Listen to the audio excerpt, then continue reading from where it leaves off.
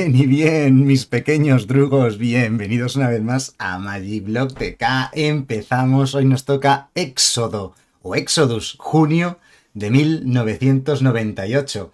Una excelente colección que cierra el bloque de Tempestad, realmente nombrado como Ciclo de Raz, era el verdadero nombre de, de ese bloque de tres colecciones. Vamos a hacer el análisis como lo hacemos siempre. Eh, voy a intentar ir rápido, son más de 100, no, son 143 eh, cartas para ser exactos. Y bueno, más cortita que una colección extensa. En aquellos tiempos salía una colección grande en septiembre y dos colecciones pequeñas en normalmente febrero y junio o algo así más o menos aproximadamente. Bueno, podía haber algún mes, pero siempre andaban por esas fechas. Y esta es una de las colecciones pequeñas. Se denominaban no autojugables, no tenían sus propias tierras básicas, siempre estaban en torno a 150 cartas. Iremos rápido. Vamos a comentar simplemente las cartas. Ya veis eh, el estilo visual, el estilo de las cartas era todo mucho más sencillo antiguamente.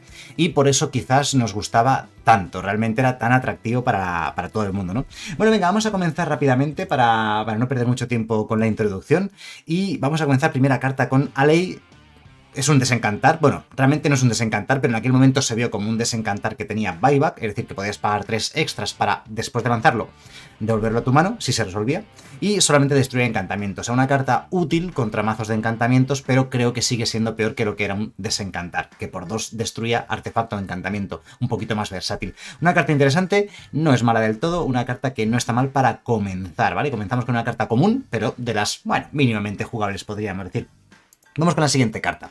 Tenemos aquí Angelic Blessing, una carta que hemos visto reeditada en bastantes ocasiones en la historia de Magic eh, es un conjuro, más 3 más 3 y volar a una criatura objetivo es simplemente una carta para limitado. En construido nunca la habéis visto jugar y nunca la veréis jugar porque es demasiado floja.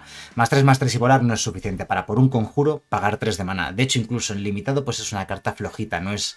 Yo no, creo que no es una de las cartas más destacables que podríamos encontrar en cualquier set. Cataclismo, Cataclysm, aquí sí que tenemos ya una carta importante.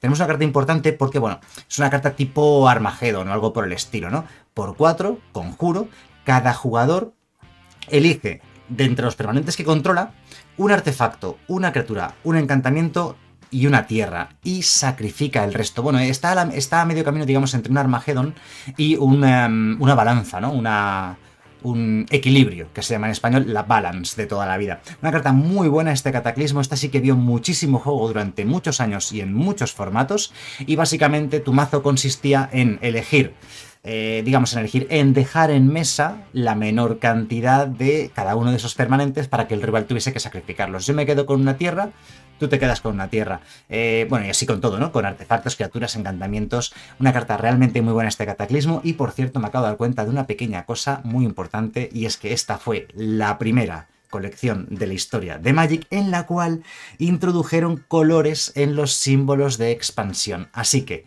en las comunes veremos que el símbolo es de color negro, en las infrecuentes, también conocidas como poco comunes, veremos que el símbolo es plateado y en las raras veremos que el símbolo es dorado. Por si alguien no lo sabía, no existieron las raras míticas hasta muchos años después, prácticamente 10 años después de esta colección. Hasta 10 años después de esta colección no hubo raras míticas. Lo de las raras míticas es un invento relativamente moderno. Hasta este momento solamente había raras, era lo más complicado que había. Harmonicox, muy buenas, ¿qué tal? Recuerdo esta carta en la colección de Salvata. Es, eh, yo recuerdo haber comprado la colección de Salvata hace muchísimos años y, salían cartas, algunas cartas bastante chulas, bastante valiosas y que hoy en día valen mucho porque son muy difíciles de conseguir y los coleccionistas las quieren, eh, las valoran muchísimo, ¿no? Bueno, pues primera carta buena de la colección, el Cataclismo, como digo, es un revientamesas. Si el rival tiene 8 criaturas, se la dejas en una. Si tiene 8 artefactos, se lo dejas en uno. Si tiene 8 encantamientos, se lo dejas en uno. Si tienes eh, si tiene ocho tierras, se dejas en una. Bueno, siempre y cuando, bueno, eliges eh, una de cada cosa, ¿no? También te puede perjudicar a ti, pero tú creas tu mazo para que tú abuses de cataclismo y el rival no. Una carta muy buena, como digo, y que sí que vio mucho, mucho juego en su momento. La siguiente carta es Charging Paladin. Por 3 es un 2-2, o sea, poca cosa. Es de tipo de criatura caballero. Le han añadido humano, ¿vale? Aquí no lo pone, pero es humano caballero. Y cuando ataca, gana más 0 más 3. Precisamente cuando atacas, tú quieres hacer la mayor cantidad de daño posible. Ganar más 0 más 3 no es muy interesante. Si fuese más 3 más 0 sería muy buena. Para construido incluso podría llegar a ser jugable. Pero obviamente es una carta bastante mediocre, incluso en limitado, ¿no? Ya estas colecciones empezaron a pensarlas bastante para formato limitado. Por cierto, este símbolo de aquí, aunque se ve un poco, un poquito plateado, es porque la coloración de la carta no es la mejor, ¿vale? Pero esto es común, ¿vale? Esto sería como un símbolo de color negro de carta común. Por cierto, otra cosa que siempre comento y es que no he encontrado las cartas en español en una calidad idónea. Así que eh, estamos utilizando eh, las, imágenes de las cartas en inglés con alta calidad, ¿vale? Alta, calidad de imagen. Muy buenas, Zambi, bienvenido. Ya te había saludado antes, ya te he visto antes. Me alegra verte por aquí. Bueno, como veis, una carta bastante del montón que casi ni en limitado es jugable, ¿no? Convalescence por 2, encantamiento durante tu mantenimiento. Si tienes 10 o menos vidas, ganas una vida. Una de las peores raras de la historia de este juego. O sea, es un encantamiento por 2 que no hace básicamente nada. Y bueno, si tienes pocas vidas, en tu mantenimiento te dará una vida. Yo creo que es una de las peores raras que he visto en mi vida, ¿no? Muy mala, muy mala. en estos tiempos había raras muy malas. Hoy en día ya no ocurre eso. Hoy en día la verdad es que la mayoría de raras o la mayoría de míticas son cartas bastante potentes, bastante poderosas. Pero es que en estos tiempos era súper habitual encontrarte morralla de este estilo. Exalted Dragon. Unos años más tarde, por cierto, salió el Exalted Angel, que fue buenísimo. No fue tan bueno este dragón. Exalted Angel, digo Dragon, perdón, por 6 es un 5-5 vuela que cada turno el Exalted Dragon, el dragón exaltado, no puede atacar a menos que sacrifiques una tierra. O sea, ya veis, la carta es otra rara, mala, mala. 6 de mana para solo un 5-5 vuela. ¿Vale? Eso hoy en día es impensable. Por 6 de mana, un 5-5 vuela casi es una común. Pues te podéis encontrar una común que por 6 fuese un 5-5 vuela perfectamente. Pero es que este bicho es peor todavía que eso, porque para que ataque tienes que sacrificar una tierra. Te, terriblemente mala. Eso sí, el dibujo es espectacular, pero la carta es espectacularmente mala, ¿no? Muy mala. Senagos MTG, muy buenas tardes, por cierto, bienvenidos. Sí, efectivamente, Harmonicox y yo hemos coincidido. High Ground, por un mana blanco, encantamiento, cada criatura que controlas eh, puede bloquear una criatura adicional, ¿vale? Bueno, pues es, estas cartas también es bastante mala. Esta sí que es infrecuente, como podéis ver, este símbolo sí que es claramente plateado una carta poco común o infrecuente, como la preferáis llamar. Eh, High Ground, una carta también terriblemente mala, realmente, porque para construido no sirve. O sea, en construido, como os digo siempre, hay pocas fases de ataque, o sea, hay pocos, eh, pocas interacciones de combate, hay pocos bloqueos, digamos. Hay ataques, pero no hay mucho ataque y bloqueo y tal. Entonces, y incluso en limitado, pues no quieres gastar una carta en limitado para una carta que por sí misma no hace nada. Así que bueno, una carta también bastante flojita, este High Ground. Vamos a intentar ir más o menos rápido, ya sabéis. Voy a un poco a explicar para estándar, un poco la historia de las cartas. Yo que sé, hay muchas cartas, por ejemplo, este High Ground. Yo ahora mismo no, no recordaba esta carta para nada. Han pasado 25 años desde que esta carta fue, fue editada siempre ha sido muy mala, nunca se ha jugado y ya ni me acuerdo. Yo no recuerdo haberla visto en mi vida. O sea, muchas de las cartas de estos años es la primera vez que las ves o, no te acuerdas simplemente de ellas, aunque las hayas visto en otras ocasiones. Así que bueno, iremos lo más rápido posible para no perder mucho tiempo. Este es uno de estos dibujos que es tan llamativo de, de Alexander Gregory, como podéis ver, un dibujante bastante famoso que tiene algunos dibujos muy importantes. Keeper of the Light, por dos blancos. Es un 1-2 es una criatura súper mediocre, es hechicero, ¿vale? Por cierto, Wizard también le añadieron humano años después.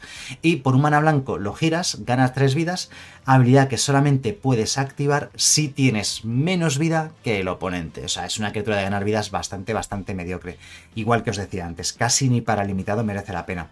Eh, es como, yo qué sé, o sea, solamente ganas vidas, pero solo si tienes menos que el oponente. O sea, es una carta muy circunstancial, ni siquiera es buena y no tiene demasiado interés, no tiene demasiado interés para construido ni casi para limitado.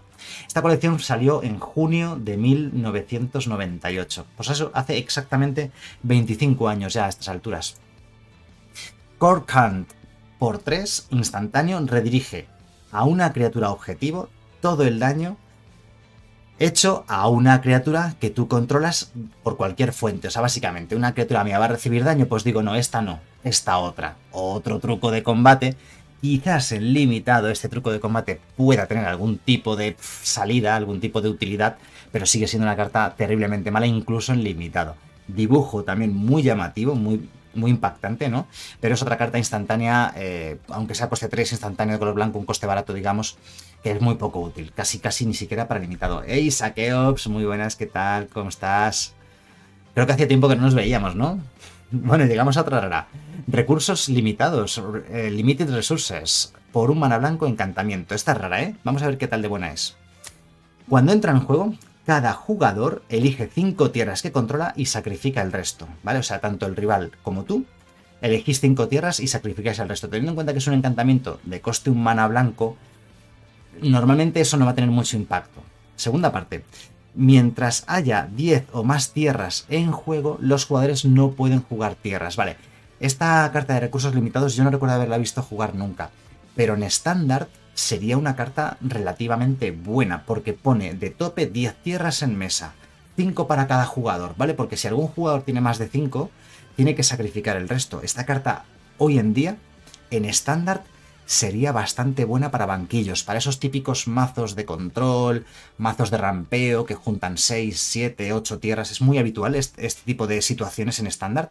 Y esta carta yo no recuerdo que en su tiempo se jugase, no la recuerdo, el dibujo también mola bastante, es muy chulo el dibujo, por cierto. Eh, pero como digo, hoy en día sería una carta que vería juego de banquillo. En los enfrentamientos seguramente contra control podrías meterte esto de banquillo, contra control, mazos de rampeo, mazos que desarrollan muchísimo si se jugó, pues no, no lo recordaba, pero como digo, me parece que es una muy buena carta. Una carta de restricción de recursos muy interesante, ¿no? Pues no me acordaba de que esta carta se jugado así. Luego resubiremos todo esto a YouTube, así que lo podéis ver con más tranquilidad. Si esta carta, que no ha sido reeditada jamás, ¿vale? Solamente fue editada en Éxodo en junio de 1998, la volviesen a reeditar hoy en día, mm, sería bastante importante en estándar, marcaría bastante el formato. De hecho, no estaría nada mal que sacasen cartas como esta, cuando hay formato, cuando hay en estándar, que a veces ocurre, mazos, eh, mazos de control demasiado dominantes. Con esto frenarías bastante los mazos de control. Pues mirad, esta carta, a día de hoy, tiene un valor de 40, 50, por, menos de un euro la puedes comprar, ¿de acuerdo? Me parece que es una carta bastante buena y que no ha sido reeditada nunca, me parece muy barata para lo chula que es la carta. Por menos de un euro puedes comprarla fácilmente en Magic Card Market, por ejemplo. Siguiente carta. Oath of, Lige, of Liches. Liges, Leyes. No sé cómo se lee esto. se jugó poco, tenía un mazo alrededor de ella. Me imagino que hay que crear un mazo para poder abusarla y si no, simplemente pues, es una carta para banquillos. Bueno, el juramento de Lieges, ¿cómo se traduzca esto? Bueno, el caso, este es un encantamiento de coste 2. Por cierto, esta colección es la colección de los juramentos, de los OAZ. Hay un OAZ, un juramento en cada color. Eh, os voy a adelantar una cosa, no quiero hacer mucho spoiler, pero el juramento verde es una de las mejores cartas de la historia de Magic y que ha marcado muchísimos formatos, incluso Vintage, Legacy, el antiguo formato extendido, eh, ha, marcado muchos formatos durante muchos años el juramento de druidas, que era el juramento verde, luego ya lo veremos cuando lleguemos a él, y el blanco lo que hacía era lo siguiente. Durante el mantenimiento de cada jugador, si ese jugador controla menos tierras que el oponente, ese jugador busca en su mazo una tierra básica y la pone en juego, ¿vale? Es decir, tanto el rival como tú si al comienzo de vuestro mantenimiento tenéis menos tierras que el rival, podéis buscar una tierra básica en el mazo y ponerla en juego directamente. Este juramento blanco me parece que es bastante bueno, lo que pasa es que el efecto simétrico hace que el, rival también lo pueda aprovechar. No sé si esta carta se llegó a jugar, pero sí que me suena que llegó a haber juego algún truquillo, algún combo, sacrificar tierras, devolver tierras a la mano, mazos que puedan jugar múltiples tierras en un mismo turno, cosas de ese estilo. Le veo bastante salidas. No recuerdo haberla visto jugar ahora mismo en ningún mazo en particular, pero me parece que es una carta bastante buena y bastante explotable, ¿no? Así que una carta muy interesante para comenzar primer juramento, el juramento blanco, interesante como mínimo, ¿no? Paladín en Beck, una carta que sí que ha visto muchísimo juego durante muchos años, tanto él como otras versiones parecidas que ha habido, porque ha habido varios caballeros de este estilo, como el Paladín en Beck. Por cierto, a día de hoy al tipo de criatura Knight, caballero, le han añadido, le han añadido también humano, ¿vale? A, muchas cartas en Magic, eh, hace unos poquitos años, decidieron hacerles una revisión a sus tipos de criaturas, ¿vale? Era necesario, era necesario porque había muchos tipos de criaturas que estaban mal. Estaban mal por, porque eran cartas muy antiguas y en, en, los comienzos de Magic pues no se preocuparon mucho por eso.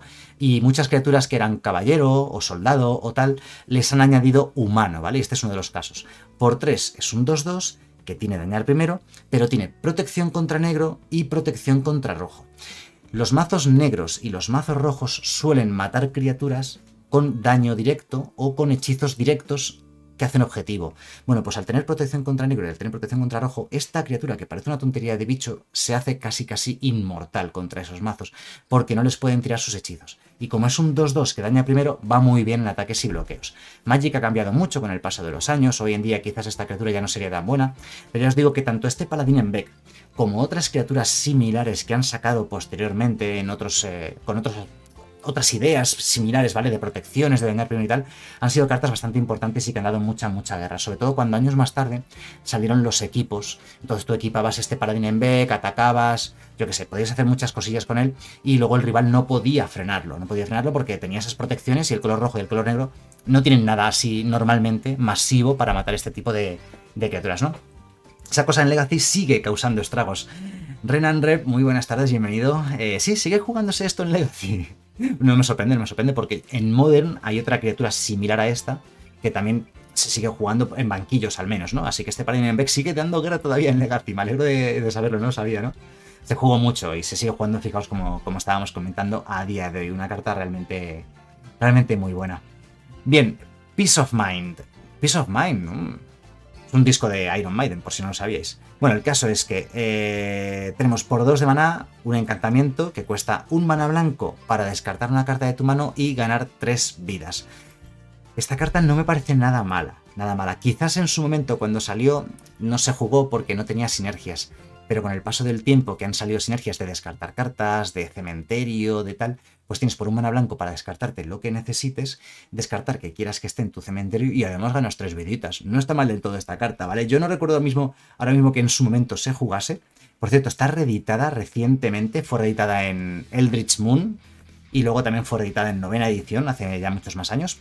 Así que es una carta que podemos disfrutar, por ejemplo, de ella en Pioneer y en Modern y no creo que hoy en día vea juego. Me sorprendería mucho que me dijeseis que esto se ve en Pioneer o en Modern, pero no me parece una carta mala del todo. O sea, es, es una carta útil, ¿no? Eso de poder descartar cartas. Lo de ganar vidas es un, plus, un extra, ¿no? Pegasus Stampede. Por dos, conjuro que tiene buyback, sacrificar una tierra, o sea, lo puedes devolver a tu mano después de jugarlo si se resuelve. Y pone un token de Pegaso 1-1 volador. Por dos de mana, un 1-1 volador. Y esta carta diréis, bueno, sí, pues esta carta sí que es buena. Sí que es buena porque durante todos los turnos de una partida puedes poner un token 1-1 volador recurrentemente todos los turnos, al coste de sacrificar una tierra. Pero hay muchas formas de recuperar esas tierras que vas perdiendo, sobre todo en partidas que se alargan, partidas en las que juntas muchas tierras, en el mazo adecuado de control en el cual puedes juntar muchas tierras o buscártelas en el mazo o rejugarlas desde el cementerio o mil cosas. Y esta carta sí recuerdo que se jugaba y se jugaba como finisher en los mazos de control no llevabas ni una sola criatura en tu mazo. Llevabas Pegasus Stampede y llegado a un punto, simplemente ibas poniendo tokens 1-1. De hecho, podías poner varios tokens en un mismo turno a costa de sacrificar un poquito. Hey, fiel, muy buenas tardes, bienvenido, un placer tenerte por aquí. Eh, sí, sí, hoy toca Exodus, o Éxodo en español, junio de 1998, la tercera colección del ciclo de Raz que cerraba uno de los ciclos más importantes de la historia de Magic. Te hace larguísima la espera. Me alegro de que tengas tanta ansia porque eso significa que te gusta, ¿no? Y como os digo, este Pegasus Stampede a largo plazo, mazos de control, al final provocaban, eh, bueno, generaban un montón de tokens que ganaban la partida ellos solos. Y esas pocas tierras que tienes que sacrificar o bien no eran un problema o bien tenías alguna forma de aprovechar que estabas sacrificando tierras. Una carta muy buena ese Pegasus Stampede. o sea, si este Pegasus Stampede lo reeditasen a día de hoy, no sé si llegaría a haber juego en estándar, porque estándar ya es un formato más rápido de lo que era antes, pero como mínimo es una carta que en estándar seguro que a día de hoy algo, algo podría llegar a verse. Y además hoy en día es más fácil encontrar sinergias con cementerios o con tierras que antes. Penance por 3, encantamiento, eliges una carta de tu mano y pones esa carta en el top de tu mazo. Previenes todo el daño de una fuente negra o roja. Esta sí que me la han jugado. No recuerdo cómo se llama en español, Penance, pero esta carta sí que la he visto jugar de banquillos en el antiguo formato extendido, en Legacy e incluso en Vintage. Es una carta obviamente que solamente vas a llevar de banquillo contra mazos rojos o negros, pero es una especie de círculo de protección que en lugar de costar 2 cuesta 3, pero no hay que pagar mana para activarlo, simplemente es poner una carta de tu mano en el top del mazo y ya previenes todo el daño de eh, una fuente negra o roja. Es una especie de círculo de protección, pero con cartas de la mano, no está mal del todo. Así que es una carta que sí que es buena, como os digo, sobre todo, como eso lo digo, o sea, contra mazos negros o rojos, pues funciona, hace su trabajo y además lo hace bastante bien. Ripping the Rewards. Por un mana blanco instantáneo, ganas dos vidas y buyback, sacrificar una tierra. Esta sí que es mala, ¿vale? Por un mana blanco ganas dos vidas a velocidad instantáneo, sacrificar una tierra para poder volver a ganar dos vidas volviendo a jugarlo, no es exactamente lo que estás buscando en una carta siempre ha habido cartas de ganar vidas mejores que esta. Es una común, por cierto, estar aquí, que no ha vuelto a ser reeditada jamás en la historia y bueno, tampoco nos importa demasiado porque es muy, muy del montón. Reconnaissance, por un mana blanco encantamiento. Eh, este tipo de habilidades de 0 o 2 puntos eran muy habituales en, este, en estos años. Eh, remueves del combate una criatura atacante que controlas y la enderezas. Yo no sé si esto tendría algún tipo de combo, truco, sinergia o algo, pero es básicamente para te ataco con mis criaturas. Ay, me bloqueas a esta pequeñita que se va a morir. Bueno, pues la saco del combate y ya está. O sea, en un principio, como estoy comentando, o sea, lo que hace la carta no es bueno. No es bueno porque en estándar, en construido, no hay muchos ataques y bloqueos. En limitado tampoco quieres jugar este tipo de cartas porque la carta por sí misma no hace nada. Tienes que estar atacando con criaturas para poder mínimamente llegar a aprovechar esto de alguna manera. Y por tanto, no es una carta que sea buena en construido en limitado. No recuerdo que tuviese algún tipo de truco, truco o combo o algo, y no lo creo que lo tuviese. Me parece que es una carta bastante mala, pero me gusta mucho el reconocimiento este, el reconnaissance. Eh, me gusta mucho el dibujo, ¿vale? El dibujo. Estos son tritones, parecen, ¿no? Pueden ser tritones, esto de aquí de la izquierda, y esto de aquí son trasgos, son mox de esos, ¿no? De los trasgos de, de, Raz. Que están aquí, bueno, estás en labores de reconocimiento, ¿no? Para activar efectos de cartas que saltan cuando atacan sin riesgo a perderlas, supongo.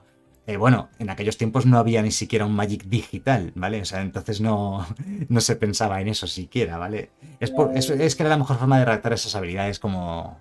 Eh, con la nomenclatura que utilizaban en aquellos tiempos. Y muchísimas gracias a Blanquito por ese follow, bienvenido. Antes no, pero ahora sí funciona en Commander, especialmente con Narset. ¿En serio? Chainer, muy buenas, por cierto, bienvenido. Me sorprende, bueno, grilletes, shackles por 3, encantar criatura, lo que hoy en día llamamos encantamiento aura, ¿vale? Las auras son los tipos de encantamientos que se ponen sobre otro permanente. Antiguamente se llamaban encantar criatura o encantar lo que sea.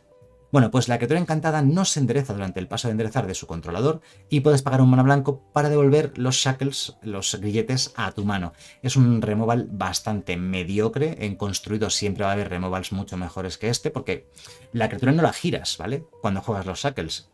Tienes que, tiene que estar girada realmente para decir que has aprovechado.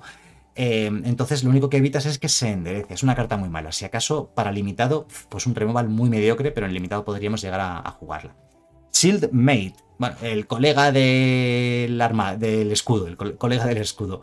Vale, es un soldado, por cierto, le han añadido humano a este tipo de criatura. Por un mana blanco es un 1-1 y puedes sacrificarlo para darle más 0 más 4 a otra criatura. Una carta terriblemente mala, súper nefasta, un dibujo muy plano, bueno, al menos está bien el dibujo, el dibujo del personaje sin fondo y sin nada, ¿no? El notas del escudo, el nota, el nota del escudo también me gusta así.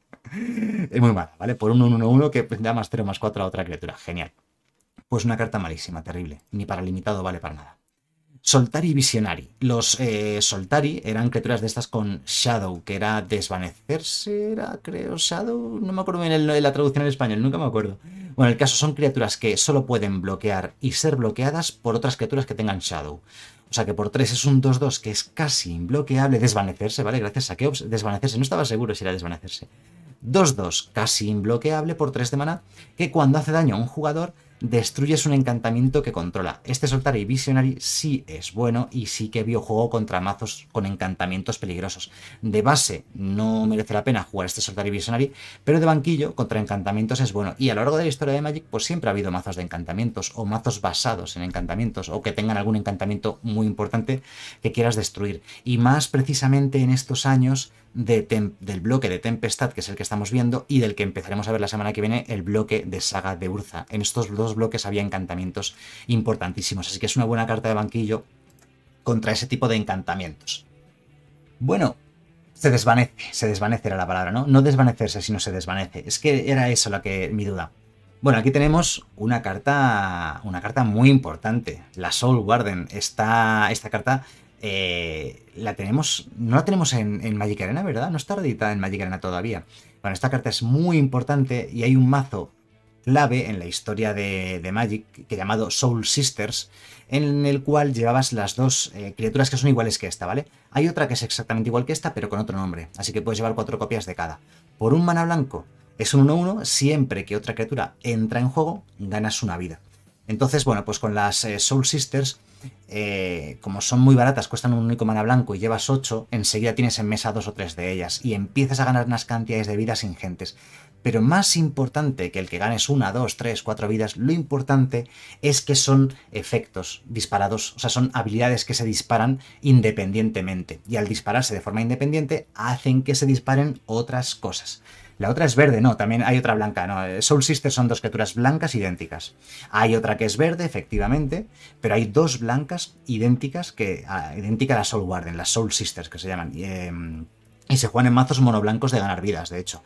En Modern sigue siendo jugable, y no creo que sea muy bueno el mazo, pero sigue siendo jugable en Modern. Y en. Y en Magic Arena se está jugando, pero solamente llevas la, Soul llevas la otra, que es parecida a la Soul Warden, y otras, otras criaturas similares. Bueno, como digo, una carta muy buena, muy importante, y que al ganar muchas vidas, ¿vale? Al dispararse, no, no por las vidas en sí, sino por dispararse, el hecho de ganar una vida, hay muchas criaturas que se aprovechan de que esa habilidad se dispare. Y como se puede disparar muchas veces por turno, cada vez que una criatura entra en juego, al final se aprovechan un montón, ¿no? Bueno, una carta muy buena esta Soul Warden y además le tengo mucho cariño. Standing Troops eh, por 3 es un 1-4 que no se gira al atacar. Fijaos que este texto hoy en día ya no estaría escrito así. Hoy en día pondría vigilancia. Tipo de criatura soldados, pero está eh, en el oráculo cambiado. Hoy en día ya no pone soldados, pone humano soldado, ¿de acuerdo? el tipo de criatura de esta carta. La carta es muy mala por 3 un 1-4 que no se gira a atacar. De hecho, ha habido muchas cartas en la historia de Magic que por 3 son 1-4 vigilancia, ¿vale? Hoy en día pondría aquí vigilancia. Pero el dibujo es brutal. O sea, es puro heavy metal. O sea, Manowar, portada de Manowar, de Iron Maiden, de lo que tú quieras, ¿vale? O sea, heavy metal a tope sería esta, este dibujo de... Me encanta el dibujo, y me parece increíble, me parece buenísimo. La carta es muy mala, pero el dibujo es buenísimo. Treasure Hunter, cazador de tesoros. Por 3 es un 2-2. Cuando entra en juego, puedes devolver un artefacto de tu cementerio a tu mano. Bueno, pues una carta que está bien para limitado si llevas artefactos, pero hay mejores cartas eh, para relacionar con artefactos en cualquier mazo, así que no es una carta que sea buena para construido, este cazador de tesoros. Wall of Nets por 3 es un 0-7. Nos dicen aquí los muros no pueden atacar, ¿vale? Es de tipo de criatura muro, eh, hoy en día ya no pone los muros no pueden atacar, hoy en día te pone la habilidad defensor, o bueno, defender en inglés. Al final del combate, remueve del juego todas las criaturas bloqueadas por Wall of Nets, ¿vale? O sea, en cada combate, todas las criaturas a las cuales haya podido bloquear el Wall of Nets se exilian, ¿de acuerdo? Y cuando el Wall of Nets deja el juego, esas criaturas vuelven al juego de nuevo. O sea, este muro es raro, ¿vale? Yo no recuerdo haberlo visto jugar, pero es súper molesto. O sea, fijaos que se come las criaturas, digamos. Cada criatura que bloquea, esa criatura se queda exiliada hasta que el Wall of Nets salga del juego. Cuando el Wall of Nets deja el juego, pues las criaturas vuelven, pero no me parece mala del todo. La verdad es que para esos tiempos seguro que algún mazo así de control o para aguantar a mazos rápidos, quizás de base no, pero de banquillo este Wall of Nets podría ser una carta bastante, bastante decente, ¿no? He visto varios leoninos con esta habilidad, la de, la de antes, ¿no? Vale. En Arcades Legacy se ha jugado. a ver, estamos hablando de antes, ¿no? No, del Treasure Hunter. ¿Te refieres al Treasure Hunter? Le das protección. Bueno, son, estas son cartas malas realmente. A lo mejor en aquellos tiempos, como el Magic era mucho más sencillo de juego bicho te pego, juego bicho te pego, pues un Wall of Nets eh, tenía algo de utilidad. Pero es una carta realmente bastante mala, ¿no? Bueno, y tenemos aquí Welking Hawk por 2, un 1-1 vuela, que cuando va al cementerio del juego puedes buscar en tu mazo un Welking Hawk, mostrarlo y ponerlo en tu mano y barajar tu mazo. Vale, este Welking Hawk es el precursor del. ¿Cómo se llama? El, que buscaba cuando entraba en juego, en lugar de ser al morir. Vale, este es al morir. Te busca otra copia en tu mazo. El bueno, el Falcon Hawk se llamaba, puede ser. El bueno salió unos años más tarde, que era igual que esto, por 2 1 1 vuela, pero que era al entrar en juego, te podías buscar en tu mazo todas las copias idénticas, eh, con el mismo nombre, y ponerlas en mano, ¿vale? O sea, era un Robo, 3, o sea, era un ancestral el, el bicho del otro, ¿no? Así que bueno, esta carta es bastante peor, eh, no, es, no es buena para construido porque tiene que morir para hacer su habilidad, no es una habilidad de entrar en juego como el, como el Hawk que salió unos años después, que es el que de hecho ha marcado una época en Magic, en, ese bicho se ha jugado siempre muchísimo, el que os estoy comentando, y esta carta pues es bastante inferior, ¿no? Y Silots Endal, por 4 es un 2-4 durante tu mantenimiento, si todos los permanentes que no sean tierra que controlas son blancos, ganas una vida. Pues bueno, por 4, un 2-4, que te da una vidita no es suficiente. O sea, es una carta bastante, bastante mala. Y de hecho ni siquiera en limitado tiene demasiada utilidad. Creo que con esta carta terminamos el color blanco y comenzamos efectivamente el color azul. El color blanco, ¿qué nos ha parecido? Bueno, bastante, bastante flojo. hemos visto dos o tres cartas así buenas como el Cataclismo y poco más, ¿no? Así que, bueno, comenzamos eh, Éxodo, el color blanco de Éxodo con, bueno, pues nivel bajo, de momento podríamos decir, pero el color azul empieza con este Ether Tide por X y azul conjuro, descartas X criaturas de tu mano y devuelves X criaturas eh, a las manos de sus propietarios. Básicamente es, es un bouncer masivo. Esta carta recuerdo haberla visto jugar, pero no me parece nada buena. O sea, es decir, tienes que pagar primero X y azul, ¿vale? Para descartar X cartas de tu mano y devolver X criaturas a las manos de sus propietarios. Es que recuerdo haber visto jugar esta carta, pero me parece bastante mala, no, no, le veo demasiado sentido. A lo mejor estoy confundido. Le estoy confundiendo solamente el dibujo con otro, con otro dibujo antiguo. Porque la estoy leyendo y me parece que es bastante nefasta. Tanin por 2, encantar criatura, más 3 más 3 y cuando ataca o bloquea sacrificas el canin al final del turno. Básicamente es un encantamiento que da más 3 más 3 y ya está. Bastante malo. Si acaso podría decir, no, en algún mazo de encantamientos, que al jugar encantamiento robas o lo que sea. Nah, hay encantamientos mucho mejores que este. Tienes que sacrificar, o sea, este, este canin se muere en cuanto ataques o bloquees al final del turno. Entonces es un encantamiento, es por 2 dar un más 3 más 3 es un truco, es no es un truco, es, un dopador de criaturas para, un solo turno y que no hace nada. Básicamente es bastante, bastante nefasto, bastante malo también. Curiosity, vale. Y aquí sí que estamos ante una carta muy, pero que muy importante, que por cierto sí que está en Magic Arena y se juega en Magic Arena y se ha jugado bastante esta carta a lo largo de la historia del juego. Es un encantamiento por un mana azul, encanta una criatura, o sea, es un aura, y que cuando la criatura encantada hace daño a un oponente y no tiene por qué ser daño de combate, puede ser daño de cualquier tipo, si tú tienes una criatura que al girarla hace un daño al oponente, por ejemplo, la curiosidad se dispara. O si tu criatura es capaz de hacer varios daños al rival de cualquier manera, no tiene por qué ser atacando o bloqueando, no tiene por qué ser de combate, ¿vale? Robas la carta igualmente. Eso ha dado lugar a un par de combos en la historia de este juego, como por ejemplo pues con Nib el Nib original de Ravnica, de la primera Ravnica, hacía combo infinito con esta curiosidad, porque cuando hacía daño robabas carta y cuando robabas carta hacía daño, era algo así, ¿no? Así que, bueno, unos ojos de vídeo, pero mejor. Aunque sin flash. Bueno, pero es que la curiosidad por un solo mana azul hace algo muy valioso y como digo hoy en día, pues en, en Magic Arena tenemos varias curiosidades y se juegan, se juegan todas. Todas las curiosidades que hay en estándar, o sea, perdón, todas las curiosidades que hay en Magic Arena a día de hoy, en histórico, en Pioneer e incluso en estándar, se juegan o se han jugado, ¿no? Y esta es la primordial, esta es la primera que hubo y ha visto muchísimo juego durante muchos años y en muchos formatos. Yo he visto jugar curiosidades en Vintage, en Legacy, en Modern, en Histórico, en todos los formatos básicamente. Una carta muy chula, ¿no? La curiosidad. Dominating Licit, como odio los lícidos y en este bloque había había un lícido de estos en cada color y en cada colección. O sea, en Tempest había cinco. En, Fortaleza había otros 5 y aquí en Éxodo, en el, en el color blanco no había. Pero en el color azul sí tenemos este Dominating Licit que por 3 es 1-1. No recuerdo si esta carta se... O sea, no recuerdo mucho esta carta, voy a leerla, ¿vale? Porque sí que recuerdo haberla visto jugar, pero no estoy seguro. Eh, lo que hace este lícido es que, bueno, pagas 3, lo giras y se convierte en un aura que encanta a una criatura.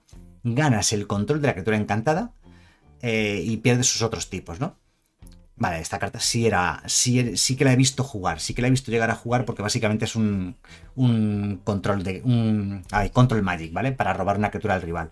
Y en aquellos tiempos los control magic eran bastante valiosos. Control magic son encantamientos con los cuales robas la criatura al rival.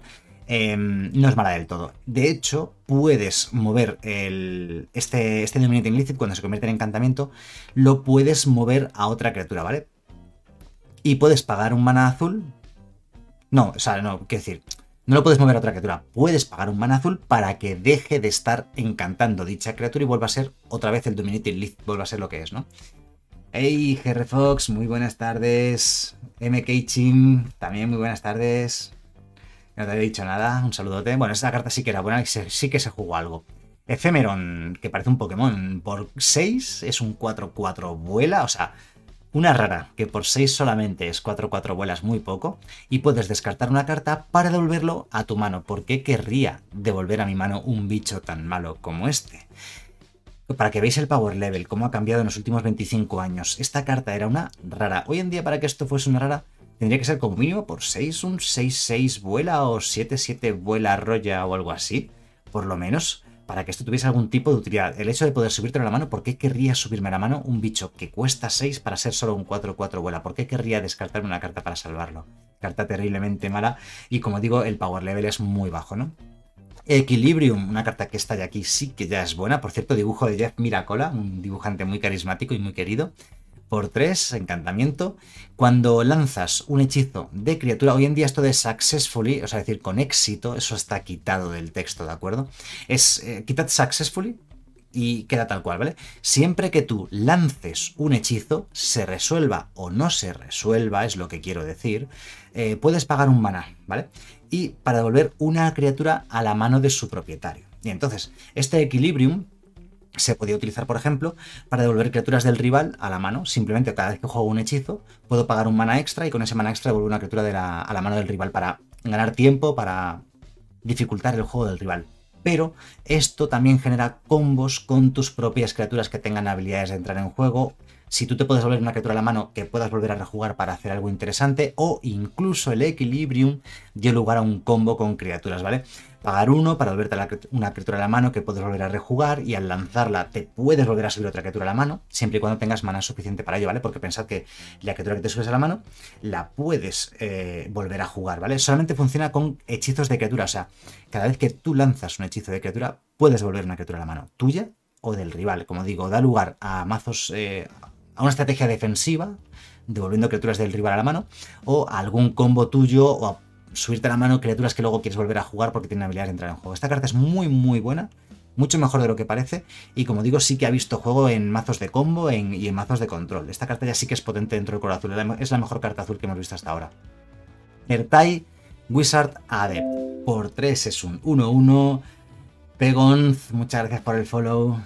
3-1-1 cuenta como hechicero. Fijaos, esta línea de texto hoy en día ya no se ponen las cartas porque es que antes a las criaturas legendarias ponía Summon Legend, invocar leyenda.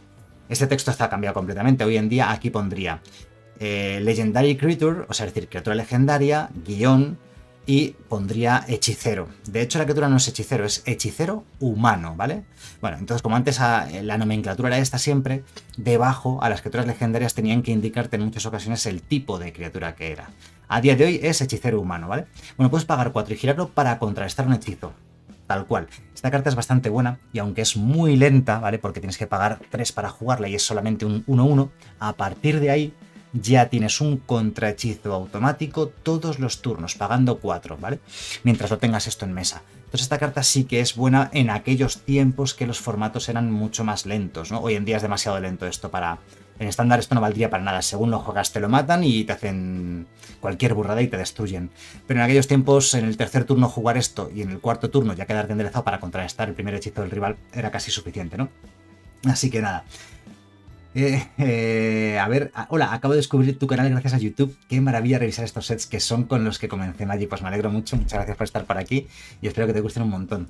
Pues tenemos hechos análisis de docenas de colecciones antiguas. Bueno, todas las anteriores a esta ya las tengo analizadas en el canal, las puedes buscar por ahí. Si no, en, en hay una sección de análisis de colecciones donde está todo, ahí lo puedes encontrar. Bueno, como digo, esta carta sí que es bastante, bastante buena, o fue bastante buena, aunque hoy ya no sería tan buena, ¿no? Fade Away, otra carta que también es buena, por 3 conjuro por cada criatura. Eh, el controlador de esa criatura paga uno o sacrifica un permanente, ¿vale? Básicamente, si pillas al rival girado, pero con varias criaturas en mesa, con tres o cuatro criaturas, el rival no va a poder pagar ese maná y va a tener que sacrificar permanentes. Esta carta es bastante, bastante buena y además le da al azul algo que normalmente el azul no tiene, que es obligar al rival a sacrificar cosas, ¿vale? Entonces, que el rival tiene cuatro criaturas, pues mira, o pagas uno por cada criatura, o vas a tener que sacrificar un permanente. Le puedes, le puedes hacer un destrozo si le pillas sin maná disponible al rival por solamente 3 de maná, aunque sea velocidad de conjuro. Lógicamente, si esto fuese un instantáneo estaría mega rotísimo, pero esta carta es muy, muy buena, vio mucho juego en su momento y yo creo que a día de hoy sigue siendo una carta, si la reeditasen en estándar, nos reiríamos bastante con esta carta, es bastante buena, muy frustrante. Forbid, una de las mejores cartas de la historia de este juego. Bueno, no voy a decir de las mejores cartas de la historia, pero una carta que, ojo, que ha visto muchísimo juego durante muchos años en muchos formatos y que en aquellos tiempos no nos la podíamos creer, ¿vale? Es un contrahechizo que cuesta 3. O sea, un contrahechizo de coste 3 es incluso de suficientemente bueno por sí mismo, pero tenía buyback descartar dos cartas. O sea, siempre y cuando pudieses eh, pagar el buyback de descartar dos cartas, te lo, te lo devolvías a la mano y podías volver a contrarrestar. Había mazos capaces de generar ventaja de cartas muy grande y simplemente forbid todo el rato a todo lo que tú jugases. O sea, llegaba un momento en el que te hacían un cerrojo absoluto.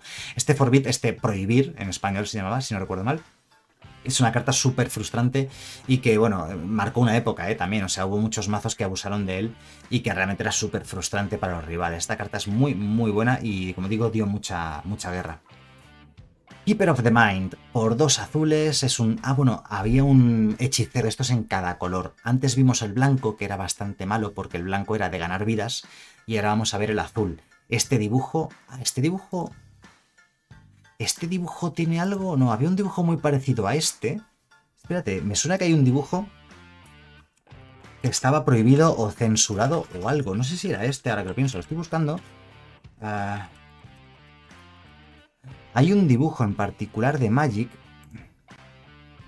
muy parecido a este, que estaba prohibido, censurado o algo por el estilo. Si no era este, era uno muy parecido. Uy, tendría que buscarlo, tendría que buscarlo porque ahora mismo no me acuerdo. Eh, tengo un vídeo hecho en el canal que se llama... Eh, uy, no me acuerdo cómo se llama el, el vídeo tampoco, pero que hablo de polémicas, cartas censuradas, cartas prohibidas, eh, y creo que una de ellas era este dibujo. Lo que pasa es que no tengo el dibujo completo del cuerpo completo del, personaje. Me parece que era este. Bueno, habría que, habría que indagar, habría que buscar. Y si no era este, era muy parecido el, la pose que tenía la hechicera. Juan Berser, muy buenas, bienvenido. Bueno, comentamos la carta. Por dos azules en un 1-2, puedes pagar uno azul y girarlo para robar una carta.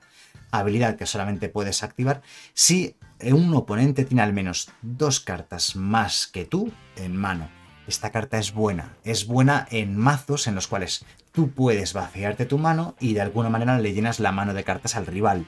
Estoy pensando en Howling Mind, o sea, Mina Aullante, o cartas de estas que hacían robar a ambos jugadores de forma simétrica. Y tú te vas vaciando la mano y con Keeper of the Mind sigues robando carta. Cada turno, por un solo mana azul, robas una carta extra que vas a poder jugar.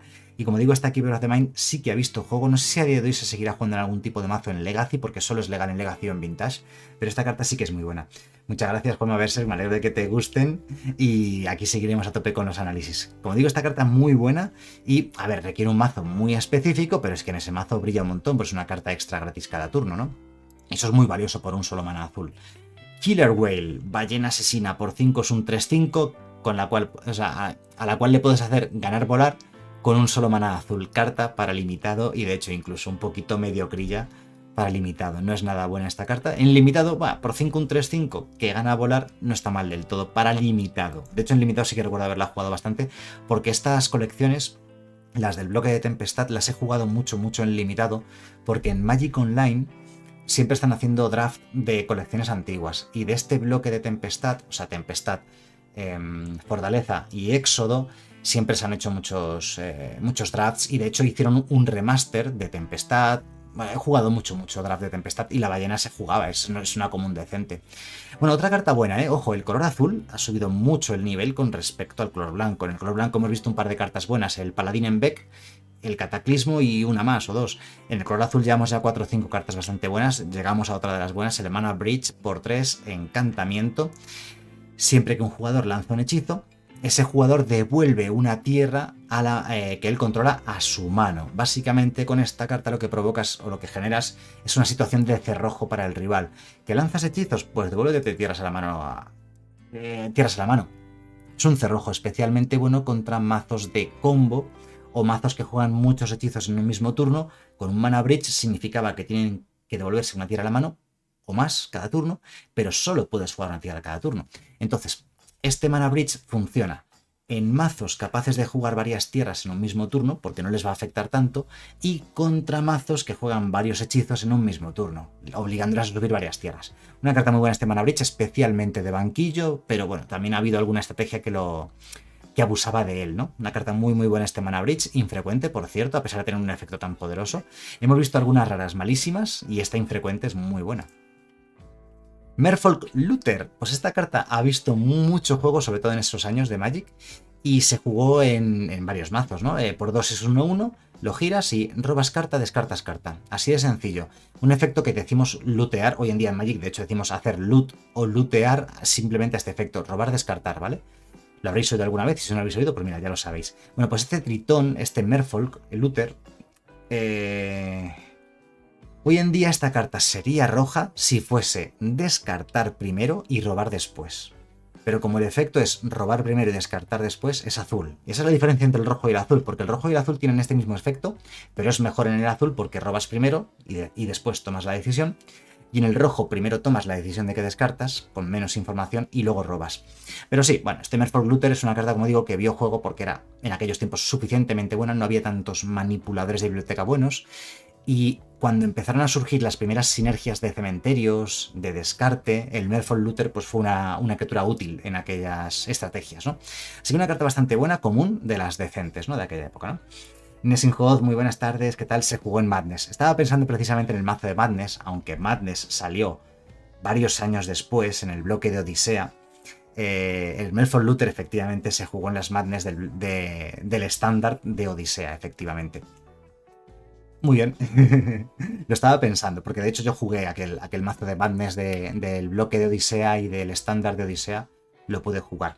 Y llegamos a otra de las mejores cartas de la historia de este juego, como es Mente sobre la materia, Mind over Matter un encantamiento tremendamente poderoso, es raro y como, como, se estaba comentando, en el color azul el nivel de la colección ha subido muchísimo con respecto al blanco. El blanco tenía tres o cuatro cartas buenas, pero es que el color azul tiene eh, cuatro o cinco cartas históricas, podríamos decir, como es el caso de este Mind Over Matter, que dice encantamiento, eliges, bueno, descartas una carta de tu mano y puedes girar o enderezar un artefacto, una criatura o una tierra. Esto ha generado diferentes combos en la historia de Magic. Simplemente con descartarte una carta, poder enderezar un artefacto que de 3 o 4 o 5 de mana significa una cantidad de mana enorme. Criaturas, pues más o menos lo mismo. Y tierras, lo mismo. Hay tierras que dan mucho mana y con Mind Over Matter las podéis enderezar en varias ocasiones o activar las habilidades en múltiples ocasiones de un artefacto, de una criatura o de una tierra. Hay algunos artefactos, por ejemplo, como el, es el caso de... Mm, ¿Cómo se llamaba el artefacto este? Este no lo conocéis, este es muy importante el artefacto, ay, no me sale, el artefacto este de alfa de la primera colección de Magic, que da un turno extra, pero que entra girado, bueno, que entra, que tienes que saltarte un turno para enderezarlo y tal. Bueno, pues con Mind Over Matter lo puedes enderezar simplemente descartando una carta. Time Vault, muchas gracias Maulet, no me salía el nombre, una carta tan importante como el Time Vault. Bueno, pues Mind Over Matter, pues simplemente con Time Vault hace combo, turnos infinitos. Muchos mazos top se hicieron a su alrededor, efectivamente. Esta carta sí que es muy importante y es que, es que los combos salen solos con esta carta, ¿vale? Tiene un coste, ojo, dos, dos manas genéricos y cuatro azules, tiene un coste un poquito alto, pero dependiendo del formato del que estemos hablando, en Vintage te la pueden jugar de primer turno sin problemas y en otros formatos se puede jugar, pues yo qué sé, gratis, con otros trucos o, o sinergias. Bueno, siguiente carta, importantísima esta. Mirocel o Mirosel por 4 es un 2-3 vuela, que siempre que es objetivo de un hechizo o habilidad lo devuelves a la mano. Esta carta es bastante mala porque por 4 solo es un 2-3 vuela, y si el rival le hace objetivo con cualquier cosa, va a la mano de nuevo. Si acaso esto puedes pensar que puede tener algún tipo de combo o lo que sea, pero yo no he visto jugar nunca esto o no lo recuerdo. Siempre ha habido otras criaturas parecidas a esta, que al ser objetivo vuelven a la mano, pero que son más baratas, es que cuesta 4. O sea, esto es una carta muy mala, muy mala, terriblemente mala. Ni para limitado la querríamos. Sí, como dice Mauret, también cualquier criatura que te permita tapear para robar, te permite hacer self-mill, bueno, mil cosas, ¿no? Oath, Oath of Scholars, vale, el juramento de los escolares, en español no me suena que sea más escolares a scholars, pero bueno, el juramento azul, ¿de acuerdo? Hay un juramento en cada color, el bueno ya os he dicho que era el verde. Y el blanco que hemos visto antes no era malo del todo. Vamos a ver el azul. Durante el mantenimiento de cada jugador, si ese jugador tiene menos cartas en mano que el oponente, robas cartas... Eh, puede descartar su mano y robar tres cartas, ¿de acuerdo? Siempre y cuando ese jugador tenga menos cartas que el rival. Este juramento, al igual que el blanco, tiene un efecto bastante poderoso Yo no recuerdo que se haya jugado. Para empezar, el juramento blanco costaba 2, el juramento verde costaba 2, este ya cuesta 4, tiene un coste bastante más alto y su efecto es pues lo de siempre, un poquito, uh, un poquito incontrolable, ¿no? Tú no puedes controlar fácilmente las cartas que tiene en mano el rival. Pero si consigues tener tú menos cartas, bueno, el, es un efecto simétrico, ¿eh? el rival también lo aprovecha. Si consigues tener menos cartas que el rival de forma sistemática, te descartas la mano y robas tres cartas nuevas. Es una carta, como digo, bastante poderosa, ¿no? Académicos, podría ser el juramento de los académicos, podría ser. O de los, de los eruditos, dice Sakeops.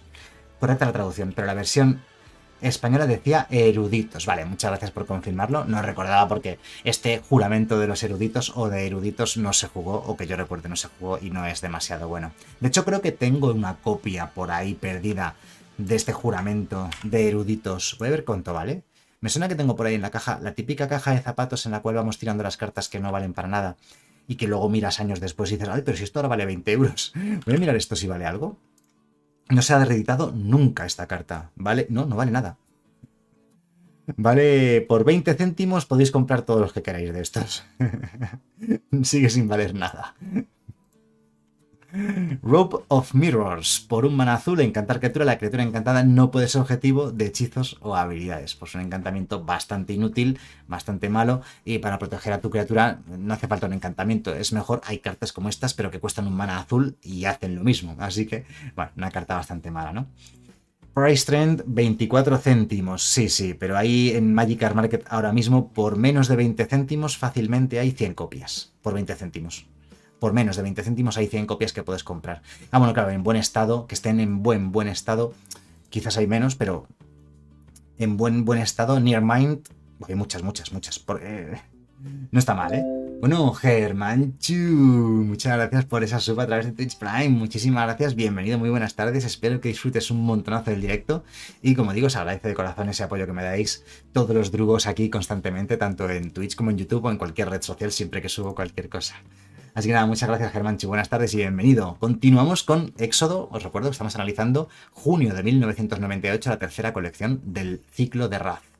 Rootwater Mystic por un mana azul es un tritón 1-1 que te permite mirar eh, la carta del top de cualquier jugador pagando dos manas. Es una carta bastante mala, o sea, es decir, el efecto no es malo, pero requiere mana. ¿Quién quiere gastar una carta en un bicho que no vale para nada y pagar otros dos manas adicionales para ver el top? Ver el top del mazo del rival o el tuyo está guay, pero no a este precio. No quieres gastar una carta en algo tan inútil. Carta bastante mala, ¿no?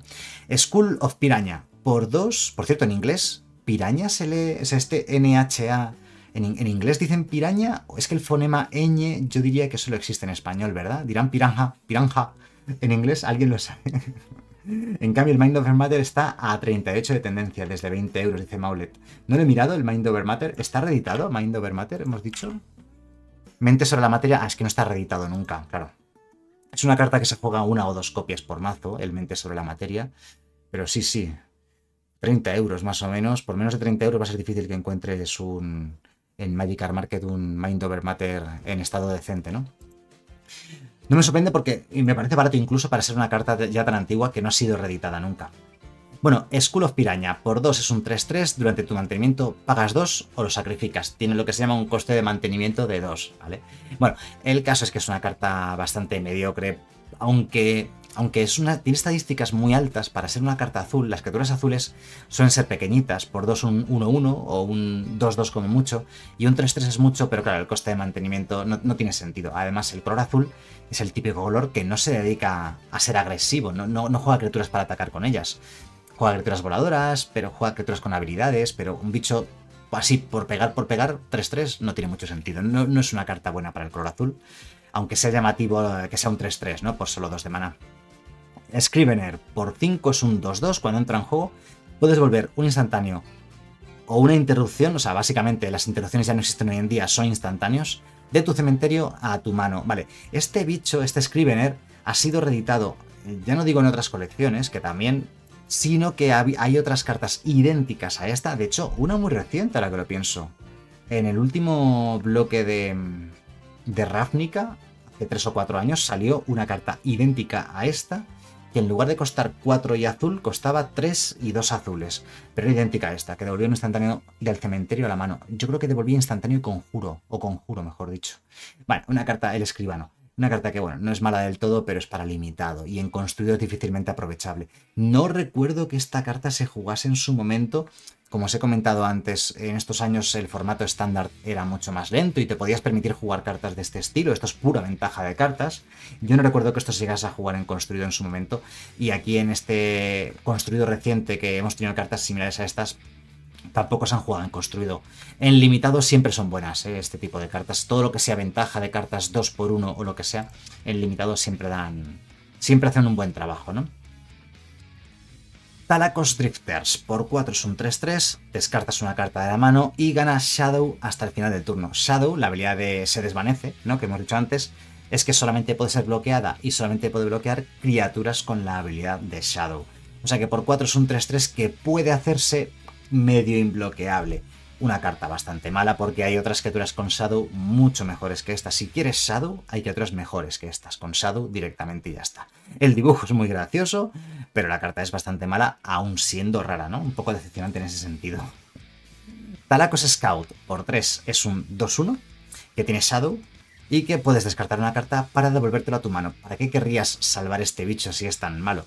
Como digo, hay muchas criaturas con Shadow en la historia de Magic, en el color blanco, en el color azul, pero normalmente las que se han jugado son criaturas de coste 2 que al menos peguen 2, ¿no? Y esta ya cuesta 3. Entonces, bueno, como hay otras opciones mejores que este Taracos Scout, este Taracos Scout pues no se jugó simplemente. Aunque, aunque puedas salvarlo devolviéndolo a la mano, pero ¿a qué precio descartando una carta? ¿Quién quiere salvar este bicho tan malo?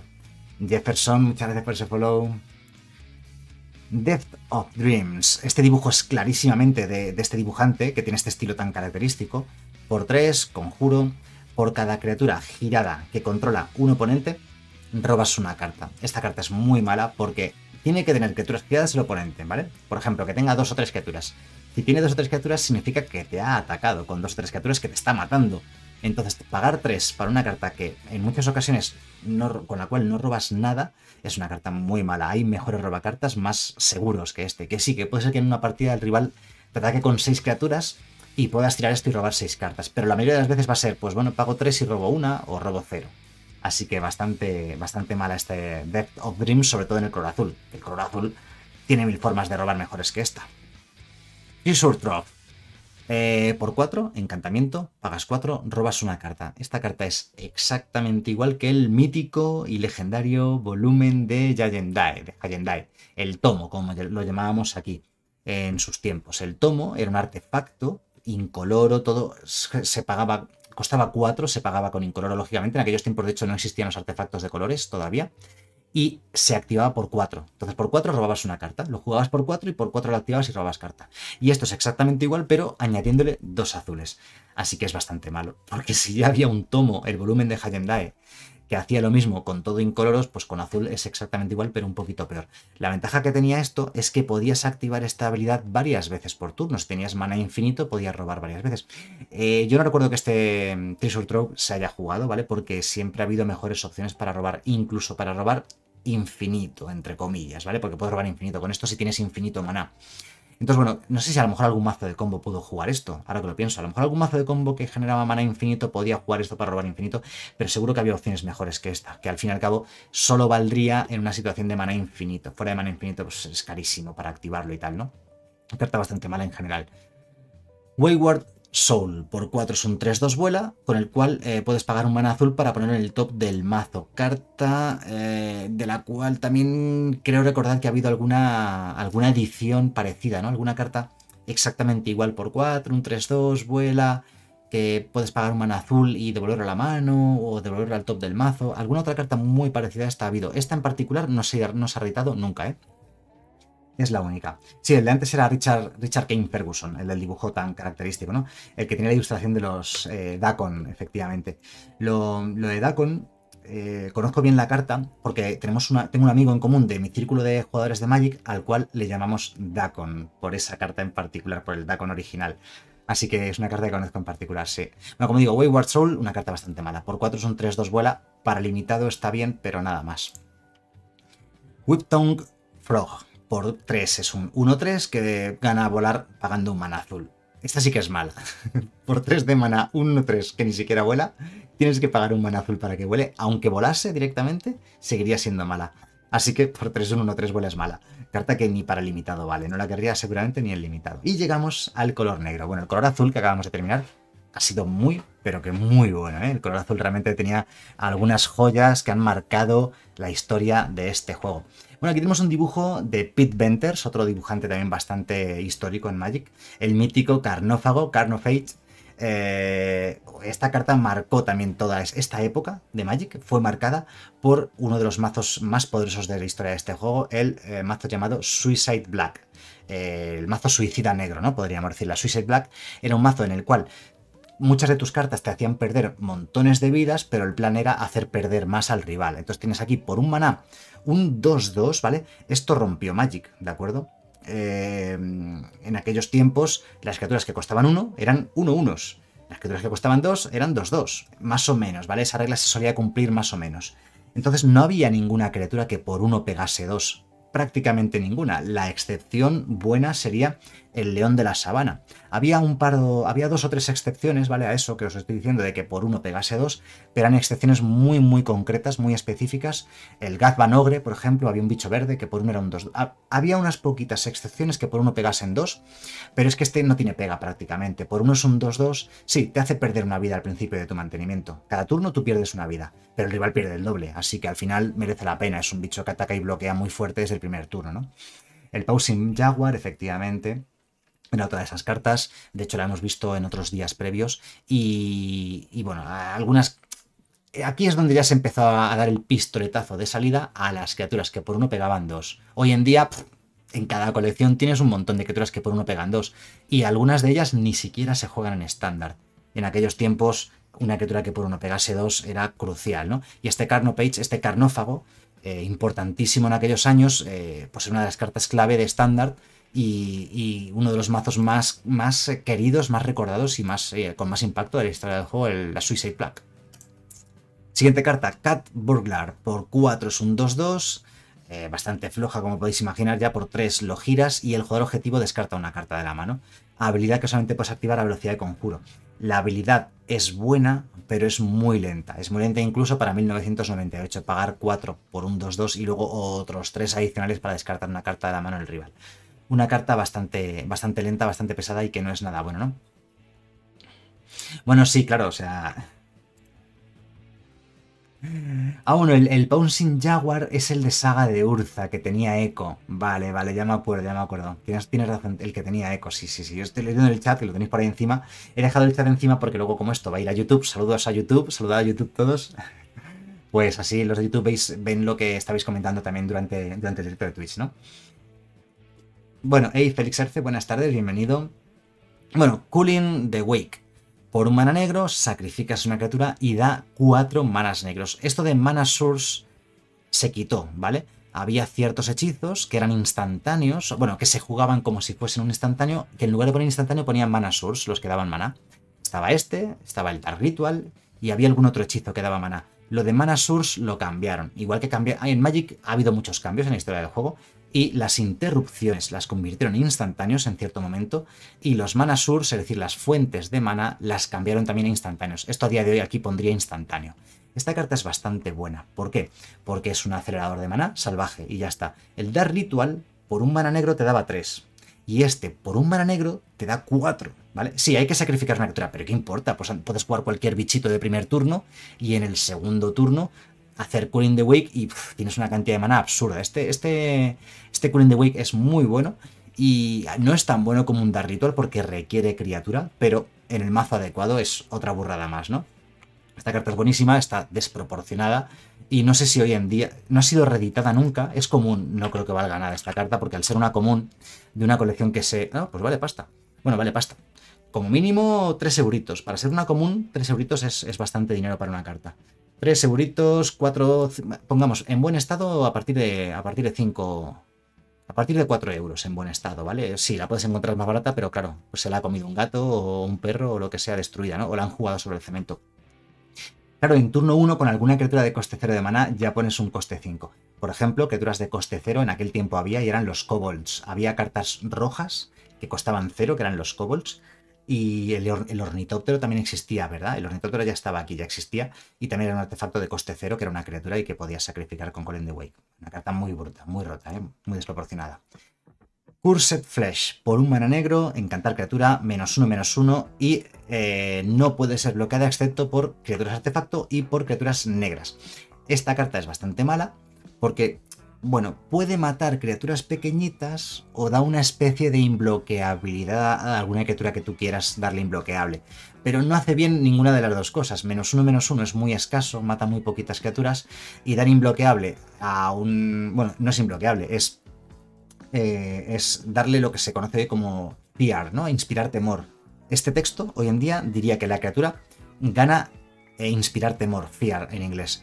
Eh, que no puede ser bloqueado excepto por criaturas negras o por criaturas, criaturas artefactos. O sea, le pueden bloquear criaturas, pero tienen que ser negras o artefacto. Lo único que yo salvaría de esta, de esta carta es el dibujo, es espectacular, de Ron Spencer, de los mejores dibujos de Ron Spencer, me flipa este dibujo, es puro heavy metal, es que mis oídos están oyendo, se oye ahora mismo Iron Maiden totalmente aquí de fondo, o Judas Priest, es más Judas Priest que Iron Maiden. inspirar temor, efectivamente. Pero gana menos uno, menos uno la criatura. O sea, es decir, le das inspirar temor, pero gana menos uno, menos uno. O sea, muy mala esta carta, a pesar del dibujo. Doughty Cutthroat por 2 es un 1-1 que tiene Shadow, es decir, bloquea y solo puede ser bloqueado por otras criaturas que tengan Shadow. Y puedes pagar 2 y girarlo para destruir una criatura con Shadow. Este Doughty Cutthroat, yo no recuerdo, no lo recuerdo esta carta. Eh, no recuerdo haberla visto jugar, sí recordaba que existía. Pero me parece buena, o sea, me parece que es suficientemente buena como para jugarla de banquillo contra otros mazos de Shadow. Y lo sabía, había mazos de Shadow mazos buenos, negros, blancos, con, criaturas con Shadow, y este Dautica Throat, pues era un anti-criaturas para Shadows. Así que la carta es buena, es buena, seguro que se juega de banquillos. Banquillo contra Soltari, sí me imagino, ¿no? Tiene que ser.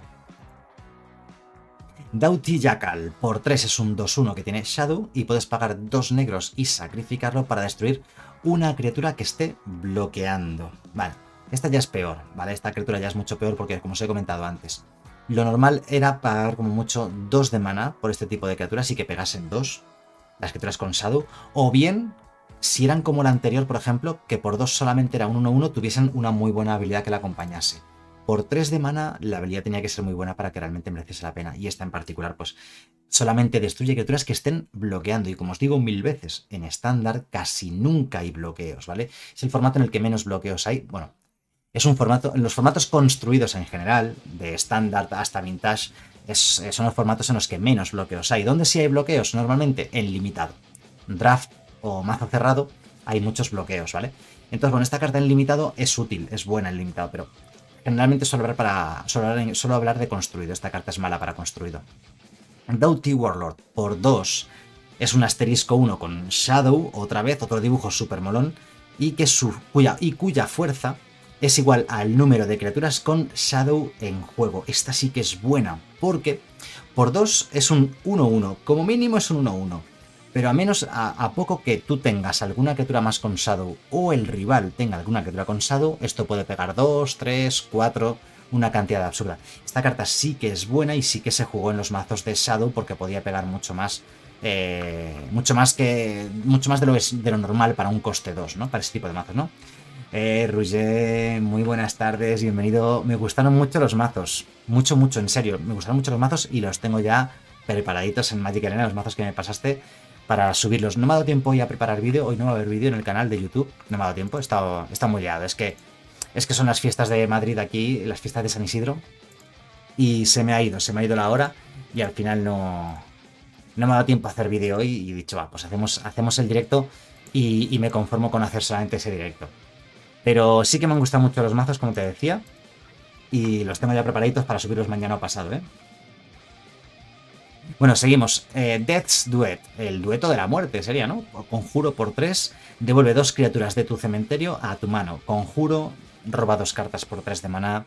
Si acaso para limitado, os digo una cosa, yo en limitado siempre opto por no jugar este tipo de cartas porque puede que el cementerio se exilie, que no haya cementerio, que no haya criaturas en tu cementerio y al final es una carta circunstancial. Y no me suele gustar llevar este tipo de cartas. Son solamente cartas para limitado, no para, no para construido. Es que voy leyendo el chat y es que es cierto, es que, es cosas que leo por aquí dijo, es que los viejos tiempos.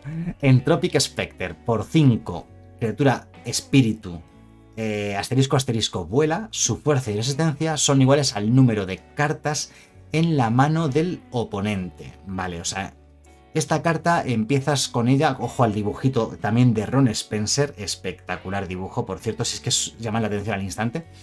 Si el rival tiene tres cartas en mano, esto es un 3-3, si tiene cuatro cartas en mano es un 4-4, la cuestión es que el rival va a poder más o menos decidir la resistencia y la fuerza de tu criatura, ¿vale? Eso es malo.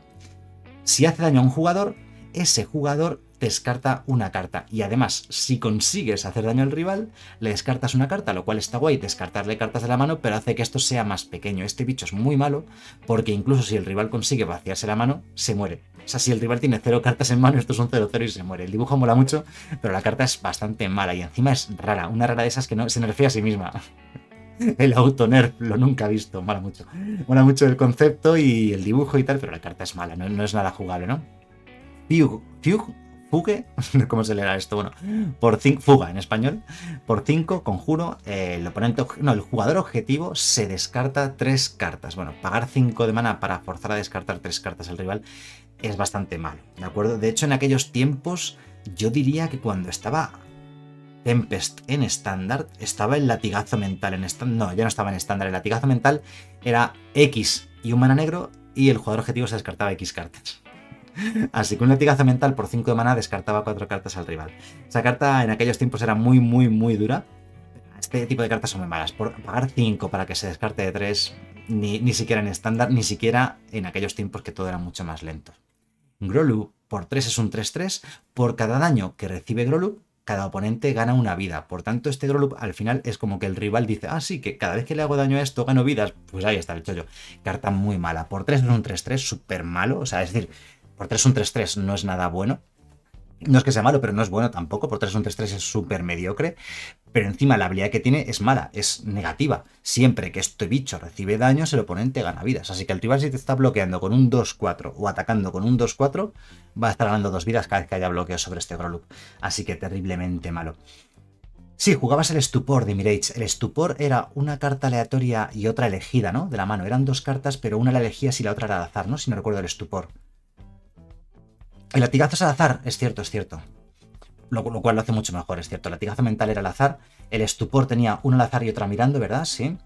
Yo tenía un, amigo en aquellos tiempos que jugaba mucho con él y él jugaba un mazo con negro y llevaba cuatro estupores. Y me decía siempre, en lugar de. Me, daba mucha rabia porque en lugar de decirme estupor, decía estúpido.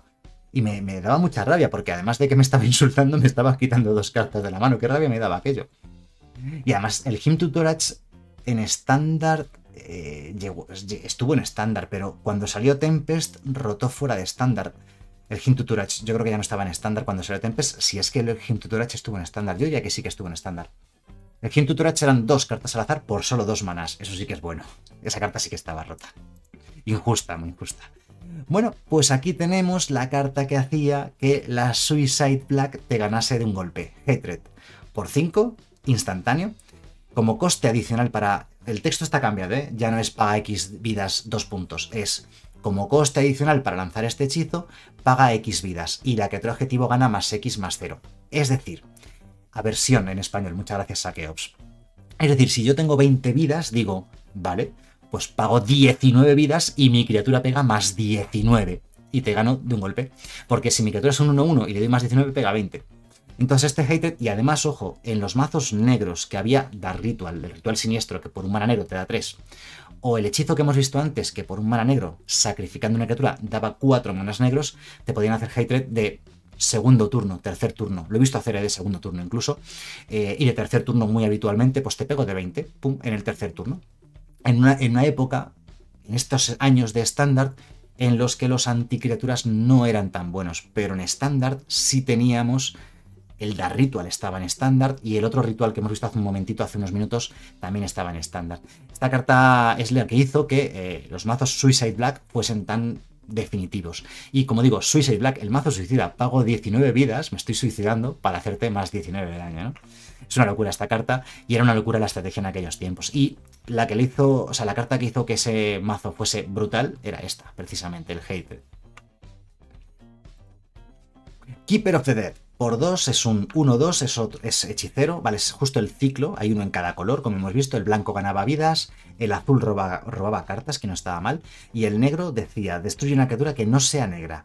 Activa esta habilidad solo si el controlador de esa criatura tiene al menos dos criaturas eh, menos en su cementerio de las que tú tienes. O sea, tú tienes que tener un montón de criaturas en tu cementerio para poder activar esto.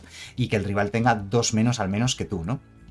Eh, no recuerdo haber visto jugar nunca esta carta negra porque es, El coste no es que sea muy alto, pero es lenta y lo que es difícil es conseguir que tengas tú muchas más criaturas en el cementerio que el rival, ¿no? El dibujo es muy bonito, es de Brom, por cierto, de Brom hemos visto varios dibujos en las colecciones previas. El dibujo es muy llamativo, muy bonito, pero la carta no es especialmente buena. De hecho, el limitado tampoco es especialmente bueno, ¿no? Hey, Satis eh, Faker Pro, muy buenas, un saludo, bienvenido. Antares HS, muy buenas, por cierto, también que no te he dicho nada. Seguimos, Mind Magots, por 4 son 2-2 cuando entra en juego. Eliges y descartas cualquier número de cartas de criatura de tu mano, ¿vale? Cuando entra en juego, descartas criaturas de tu mano. Por cada criatura descartada de esta manera, le pones dos contadores más uno más uno a los Mind Magots. No recuerdo que esta carta se jugase. Eh, es bastante mala porque te, te obliga, te fuerza para que esta carta sea algo a descartar varias criaturas de tu mano. Si a continuación el rival te sube los Mind Magots a la mano, te los mata, has perdido mucho a cambio de nada. Eh, sí, por 4 de mana, pues puede ser un 4-4, un 6-6, un 8-8, un 10-10 o lo que sea, pero a un precio muy alto, ¿no? El de descartar tantas cartas de la mano. Por tanto, no es una carta buena. Este tipo de cartas que te obligan a poner demasiados huevos en el mismo cesto no son buenas, porque como el cesto se caiga, se te rompen todos los huevos y adiós. No sé si es el mejor ejemplo, pero es el que me ha salido. Esta carta es buena y se ha jugado bastante. Náusea por 2, conjuro, todas las criaturas ganan menos uno, menos uno hasta el final de turno. Diréis, uy, qué poca cosa, solo es menos uno, menos uno. Sí, pero en un determinado formato en el que haya muchas criaturas pequeñas. Eh, esta carta de banquillo hace un trabajo bastante eficiente, dado que más o menos lo viene a matar todo. Em, ha habido cartas mejores que estas, mejores que esta. Esta es conjuro, solamente cuesta dos. Ha habido cartas como esta que son encantamiento, es decir, permanentemente todas las criaturas tienen menos uno, menos uno, pero claro, más caras, de coste 4, ¿no? Por ejemplo. En mi Pauper Commander hace estragos. Sí, claro, en, formatos en los que hay criaturas pequeñas, estas náuseas son mucho mejores, ¿no?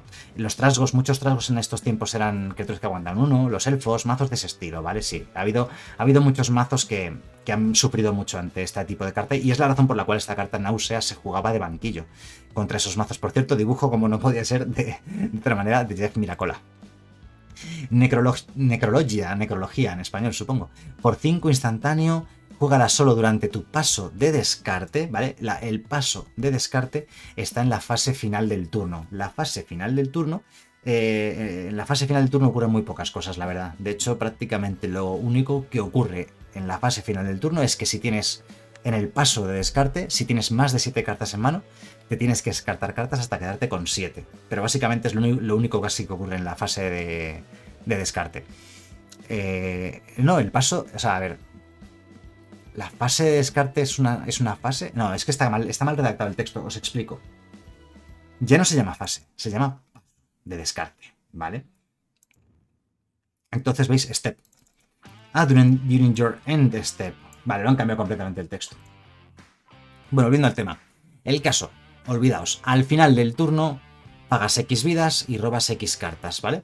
Es un instantáneo que cuesta 5 se parece mucho a la necropotencia. Lo que pasa es que la necropotencia era un encantamiento que costaba 3, se quedaba en mesa. Y cada turno, al final del turno, tú podías robar todas las cartas que quisieras pagando una vida por cada carta que robabas. Esto es un instantáneo, pero cuesta mucho más y solamente lo puedes disfrutar un turno, ¿no? Así que... Esto es un cartón, no estoy seguro. Yo, esta necrología, yo no recuerdo haberla visto jugar nunca. Supongo que tenía cartas por encima eh, para robar cartas como eran simplemente la necropotencia o en la siguiente colección, en Saga de Urza, teníamos el... ¿Cómo se llama el encantamiento de Saga de Urza? Que era igual que la necropotencia. Pero que costaba 6. Ay. No me sale el nombre. A ver, el chat. No, arena piresiana no. La arena piresiana es en tu mantenimiento robas una carta pierdes una vida. La oferta de Yagmoth. Muchas gracias, Gond. Eh, la oferta de Jackmut era igual que la necropotencia y mucho mejor que la necrología, ¿no? Yo creo. No, no recuerdo que esta carta se jugase, la verdad. Sí que es como una necropotencia, pero no. Ey, llegamos al Oath negro, Oath of Goals. Por dos, encantamiento durante, el mantenimiento de cada jugador, porque es un efecto simétrico, afecta a los dos jugadores. Si hay tres o más cartas de criatura en el cementerio de dicho jugador, ese jugador devuelve una de esas criaturas del cementerio a su mano, Otra carta que, mm, el Oaz negro yo no recuerdo haberlo visto jugar nunca tampoco. Obviamente eh, funcionaría en mazos que tengan mucha sinergia de cementerio, que puedan llenar el cementerio muy rápidamente para volver criaturas del cementerio a tu mano, como todos los turnos. Pero bueno, como es un poco lento y eso, yo ahora mismo no recuerdo que ninguna carta se, jugase, en ningún mazo se jugase esto o que ningún mazo la, aprovechase realmente. Creo que tengo también por ahí algún Oath of Goals, un juramento de necrófagos se llama, por cierto, el juramento negro se llama juramento de necrófagos. Es mejor ahora, seguro que es mejor ahora que cuando salió, porque cuando salió es que no había formas de llenar un cementerio. Hoy en día, solamente con la habilidad de dragar, ¿vale? Los mazos de dredge, de dragar, hoy en día puedes dragarte medio mazo en el primer turno prácticamente o en el segundo turno en ciertos en determinados formatos y claro, ahí ya sí que abusas bastante de ello, ¿no? En aquellos tiempos es que no había forma de tirarte 10 cartas al cementerio en el primer turno o en el segundo turno. No había, no había todas las posibilidades que había hoy en día, ¿no? O sea que sí que es cierto, supongo que el juramento negro, el juramento de necrófagos, Oath of Goals, seguramente hoy en día será una carta mucho mejor que cuando salió. Pit Spawn. Bueno, pues el Pit Spawn por 7 es un 6-4 First Strike, por cierto, me llama la atención una cosa y es que veis que pone Beast, tipo de criatura bestia, lo han cambiado. Ya no es tipo de criatura bestia, a día de hoy es tipo de criatura demonio, le cambiaron el tipo de criatura totalmente. Bueno, por 7 es un 6-4 que daña primero, que tiene coste de mantenimiento pagar dos malas negros y si no se muere, lo tienes que sacrificar. Y cuando hace daño a una criatura, exilia esa criatura del juego. A ver, es simplemente una criatura que cualquier bloqueo siempre va a salir ganando porque es un 6-4 que daña primero. Solo que si mata a una criatura, pues además, bueno, en cuanto la dañe, aunque no la mate, en cuanto la dañe, la exilia automáticamente. Es una carta malísima. Este Pit Spawn lleva mucha atención, pero por 7 de mana, solamente un 6-4 que encima tiene coste de mantenimiento dos negros. Tipo, nada, nada, es malísima. Le demos las vueltas que le demos a esta carta, es muy, muy mala porque es mucha inversión de mana para una carta muy normalita, 6-4 daña primero, que encima te hipoteca efectivamente, como dice Juanma en el chat, es que te hipoteca dos negros por turno adicionalmente a lo mala que es. Bueno, pues eso, nada, una carta bastante, bastante mala, ¿no? Bueno, otro dibujito de Ron Spencer, Plague Bearer por 2 es un 1-1, pagando X, X y negro, destruye una criatura no negra objetivo, cuyo coste sea X. El problema de esta carta, aunque sea buenísima, un segundo, voy a ver un poquito. El problema de esta carta, aunque sea buenísima, es que para matar criaturas reales, por ejemplo, una criatura que cueste 2, tienes que pagar 5 y que no sea negra la criatura, ¿vale? Entonces, bueno, sí que es cierto que en ese sentido es mucho mana, pero para romper fichas de criatura es impresionante. Esta carta es muy buena, como he dicho. Es muy buena, aunque tiene esa pega. Eh, por un mana negro, como las fichas tienen coste 0, puede por un solo mana negro destruir cualquier ficha de criatura, automáticamente. Todas las criaturas que quieras que sean fichas las destruye por un único mana negro. Y es lo que hace que esta carta sea bastante buena. Yo, eh, a pesar de que la carta es muy buena, no recuerdo haberla visto jugar nunca, porque en aquellos años había muy pocas fichas de criatura que se jugasen en estándar, bueno, o en cualquier formato, ¿no? Hoy en día en estándar sí que es muy habitual encontrarte fichas de criatura, o en otros formatos es, es habitual encontrarte fichas de criatura, y hoy en día este Plague Beater sería muy bueno y brillaría bastante. Pero en aquellos tiempos pues no tenía muchos objetivos. El dibujo es espectacular. O sea, otro dibujo de estos que te pone los pelos de punta, ¿vale? Dibujo impresionante de Ron Spencer. La habilidad es buenísima y como digo, pues seguramente en su día no, vio nada de juego, pues porque no tenía, no tenía que cosas que romper, no tenía objetivos a los que hacer objetivo, ¿no? Una pena. ¿Vale? Pesadilla recurrente una de las mejores cartas de la historia de Magic. Recurring Nightmare, pesadilla recurrente, como digo, por 3, encantamiento. Lo juegas, ¿vale? El encantamiento y luego tienes que sacrificar una criatura y devolver eh, la pesadilla recurrente a tu mano. Y entonces cuando lo hagas, pones una criatura de tu cementerio directamente en juego. Habilidad que solamente puedes activar a velocidad de conjuro. Es decir, resumiendo, es un reanimador de coste 3. De hecho, la, mm, los mazos reanimator de toda la vida y otros mazos con combos o con sinergias de cementerios, de criaturas con habilidades de entrar en juego o criaturas con habilidades al morir, han jugado este Recurrent Nightmare. Esta pesadilla recurrente se ha jugado en diferentes tipos de mazos Reanimator o de sinergias, ¿no? Una carta muy, pero que muy buena, por cierto. Eh, no ha sido reeditada nunca fuera de Tempest. ¿Cuánto vale hoy en día una pesadilla recurrente? Yo también tenía alguna pesadilla recurrente hace unos años. Ya no tengo ninguna, las vendí. Ah, pues siguen... No son caras, para ser una carta rara, que es tan buena, supongo que hoy en día, bueno, o sea, sí, entre 20 y 30 euros se pueden comprar, ¿vale? A partir de 25 euros las encuentras en, buen estado, 30 euros. En 30 euros ya las encuentras Near Mind, ya las hay en buen estado en 30 euros en, en Magic Market. Pues aún así, me parece barata para lo buena que es. Lo que pasa es que me imagino que quizás hoy en día ya no se juega, ¿no? Eh, es solamente legal en Legacy y en Modern. Es eh, legal únicamente en Legacy, digo, perdón, en Legacy y en Vintage esta carta nada más. Entonces supongo que, que ya no se juega en Commander, creo que también es legal, pero vamos, que ya no se juega porque hay otras opciones quizás mejores que ella, pero vamos, marcó una época, se ha jugado muchísimo en muchos formatos, en aquel estándar, en el antiguo formato extendido, en Legacy, en Vintage, yo he visto jugar también esta carta en Vintage, una carta buenísima que ha marcado una época clarísima, ¿no? Eh, de Magic, este, esta pesadilla recurrente. Scare Tactics, por un mana negro instantáneo, las criaturas que controlas ganan más uno más cero hasta el final del turno. Pues nada, un truco de combate, si acaso para un mazo delimitado. No recuerdo que esta carta la jugasen los mazos de Shadow, pero tampoco me sorprendería que se hubiese jugado esto en mazos de Shadow, porque por un solo mana negro a lo mejor estabas ganando más 3 o más 4 de ataque. No sorprendería, ¿vale? Que algún mazo negro súper agresivo lo hubiese jugado, pero no lo recuerdo. No, me parece que sea una... Yo a día de hoy diría, esta carta no es buena para construido, ¿no? El dibujo mola muchísimo, por cierto. Slaughter. Por 4, instantáneo, destruye una criatura no negra objetivo y no puede ser regenerada. No voy a ponerme a explicar cómo funciona lo de regenerarse. Por cierto, esta es Mirri, ¿no? Bueno, eh, tiene buyback, pagar cuatro vidas. Puedes pagar cuatro vidas para devolverte el hechizo a la mano después de haberlo lanzado y que se haya resuelto. Es una carta mala, ¿vale? O sea, no es que sea mala, pero es que es muy costoso. Pagar cuatro para hacer un terror, para destruir una criatura en un negro objetivo y que no puede ser regenerada, aunque tenga el buyback de pagar cuatro vidas, son muchas vidas, yo creo, para... Hay otros hechizos removal negros, creo, mejores que este, y yo no recuerdo que esto se llegase a jugar.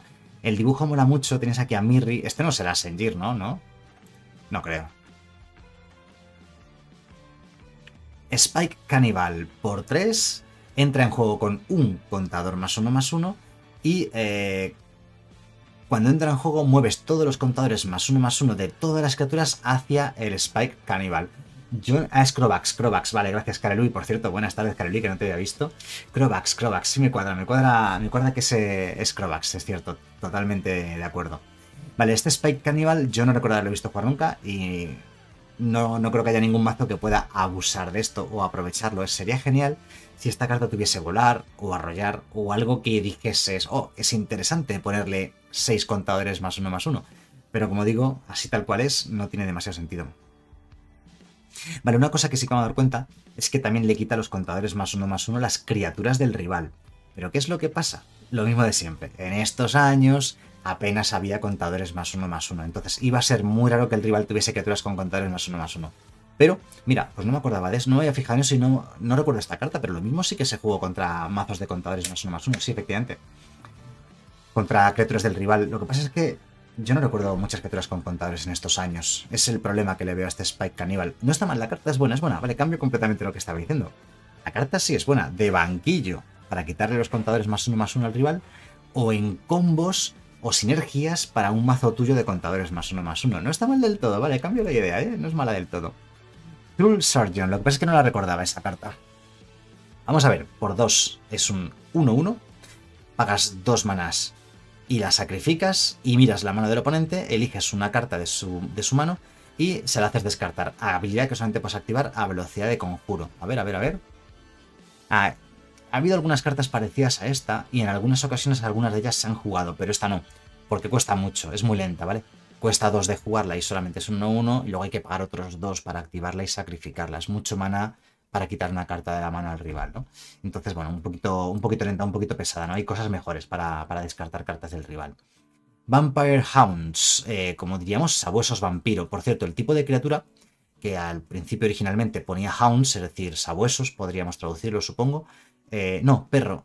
Bueno, es que los Hounds en, en, Magic le cambiaron el nombre. El tipo de criatura Hound, sabueso, lo cambiaron a todos por perro, dog. Hoy en día esto no es un hound, sino que este tipo de criatura, esta criatura en particular, esta carta, Vampire Hounds, son eh, perros vampiro. Vampire de tipo de criatura y dog de tipo de criatura. Cambiaron los hounds. Creo que ya no hay hounds en Magic, ¿no? O si... Creo que no hay, que los cambiaron todos por dogs. Igual que los los gatos o ¿cómo fue? Los felinos, igual, algo hicieron con los gatos, con los felinos, algo parecido, ¿no? Como que los eh, juntaron todos en un tipo de criatura y ya está. Bueno, pues el caso es que estos vampiros, estos eh, sabuesos vampiros, por 3 son solamente un 2-2, pero puedes descartarte una carta de criatura de la mano y ganan más 2 más 2 hasta el final del turno. O ganan mucho, ¿eh? Me están recordando un poquito al. al. Ay, ¿cómo se llama? El Wild Mongrel. El, el Wild Mongrel, que salió unos años después por 2, era un 2-2 y ganaba más 1 más 1 por cada carta que te descartases. Este gana mucho más, pero solamente funciona con eh, cartas de criatura y cuesta 3 en lugar de 2. Wild Mongrel era mestizo salvaje, sí. Es un poco como el mestizo salvaje, pero que aún no era bueno. No era bueno porque solamente funciona con criaturas y cuesta 3, cuesta un poquito más. Pero la carta ya empezaba a apuntar maneras de, mazos de descarte. Y además, cuando esto estuvo en estándar, que es donde esto podría haber sido jugado, en estándar había menos sinergias de cementerios, menos formas de, de, abusar de esta carta, ¿no? En cualquier caso, bueno, empieza a ser interesante la carta. No digo que sea mala del todo, pero desde luego no era buena. Volrats Dungeon por 4 encantamiento cualquier jugador, yo, el rival, cualquier jugador puede pagar 5 vidas durante su turno para destruir el Rats Dungeon. O sea que si el rival no quiere que esto esté en mesa, puede pagar 5 vidas y ya está. Y, lo, destruye. O yo, si no quiero que esté, lo puedo destruir pagando 5 vidas, ¿vale? Bien, descartar una carta de la mano. El jugador objetivo descarta una carta. No, pone una carta de su mano en el top del mazo. Habilidad que solamente puede activar la velocidad de conjuro. A ver, a ver, entonces puedes descartar una carta de la mano y fuerzas al rival a poner una carta de su mano en el top del mazo. Yo no recuerdo que esta carta se jugase, pero es bastante buena. Bastante buena porque al final... Bueno, no es tan buena, claro, porque el rival siempre puede elegir. Cuando el rival puede elegir no es buena. No es buena porque si le conviene pagar 5 vidas, va a pagar las 5 vidas. Y si le conviene poner una carta de su mano en el top del mazo, va a poner una carta del top. Siempre que el oponente puede elegir, y además puede elegir cuando quiera, el hecho de pagar 5 vidas para destruir esto para siempre, es, hace que las cartas sean mucho peores, ¿no? Sí, sí, es mucho, mucho. Es mucha inversión de mana, efectivamente, como dice Juanma también en el chat. Eh, le he dado muchas vueltas y al final no, no, no es tan buena. Eh, quería que fuese buena y no, lo es, ¿no? Es una rara mala de estas. Bueno, ya hemos visto el color negro. El color negro bastante bueno. Creo que un poquito peor que el azul, pero es que el azul era espectacular. El color negro tiene algunas cartas muy buenas. Entonces, en lo que ya hemos analizado de Éxodo, el mejor el color azul hasta el momento y luego el color negro, luego el blanco, ¿no? Que son los tres colores que hemos visto. Llegamos al color rojo y tenemos ni más ni menos que al anarquista. Esta carta es eh, bastante interesante y ha visto algo de juego. Por 5 es un 2-2, cuando entra en juego devuelve un conjuro de tu cementerio a tu mano.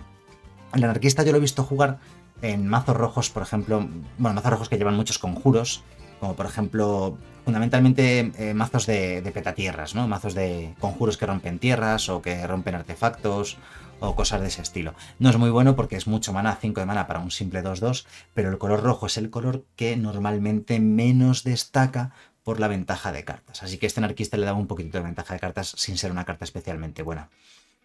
Supongo que sobre todo en estándar. Eh, lo he visto jugar, pero vamos, tampoco, como digo, era una carta súper buena.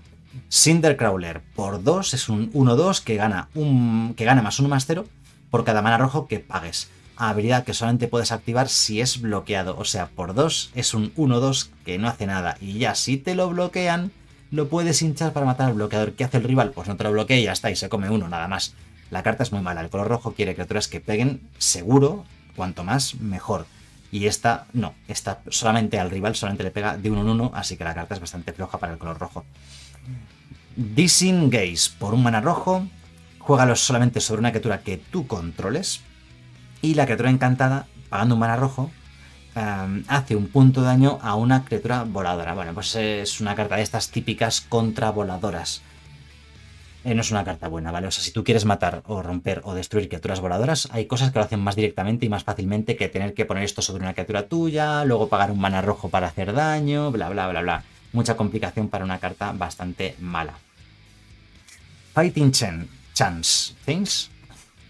Por un mana rojo instantáneo, por cada criatura bloqueadora, vale, como os he dicho siempre, en estándar o en construido en general hay muy pocos bloqueos, ¿vale?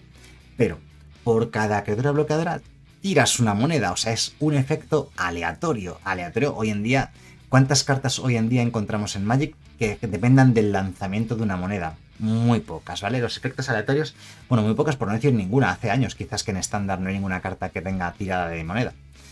Lo han quitado eso del juego prácticamente. Bueno, si ganas la tirada de moneda, esa criatura no hace daño de combate este turno.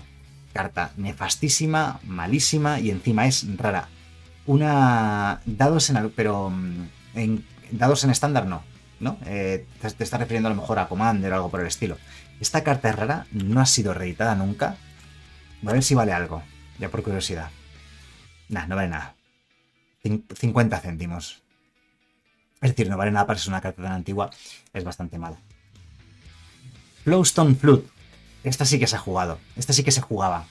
Esta es buena. Por 4, destruye una tierra, ¿vale? Está de coste un poquito por encima de lo que solían ser los petatierras. Los petatierras normalmente por 3 destruyen una tierra.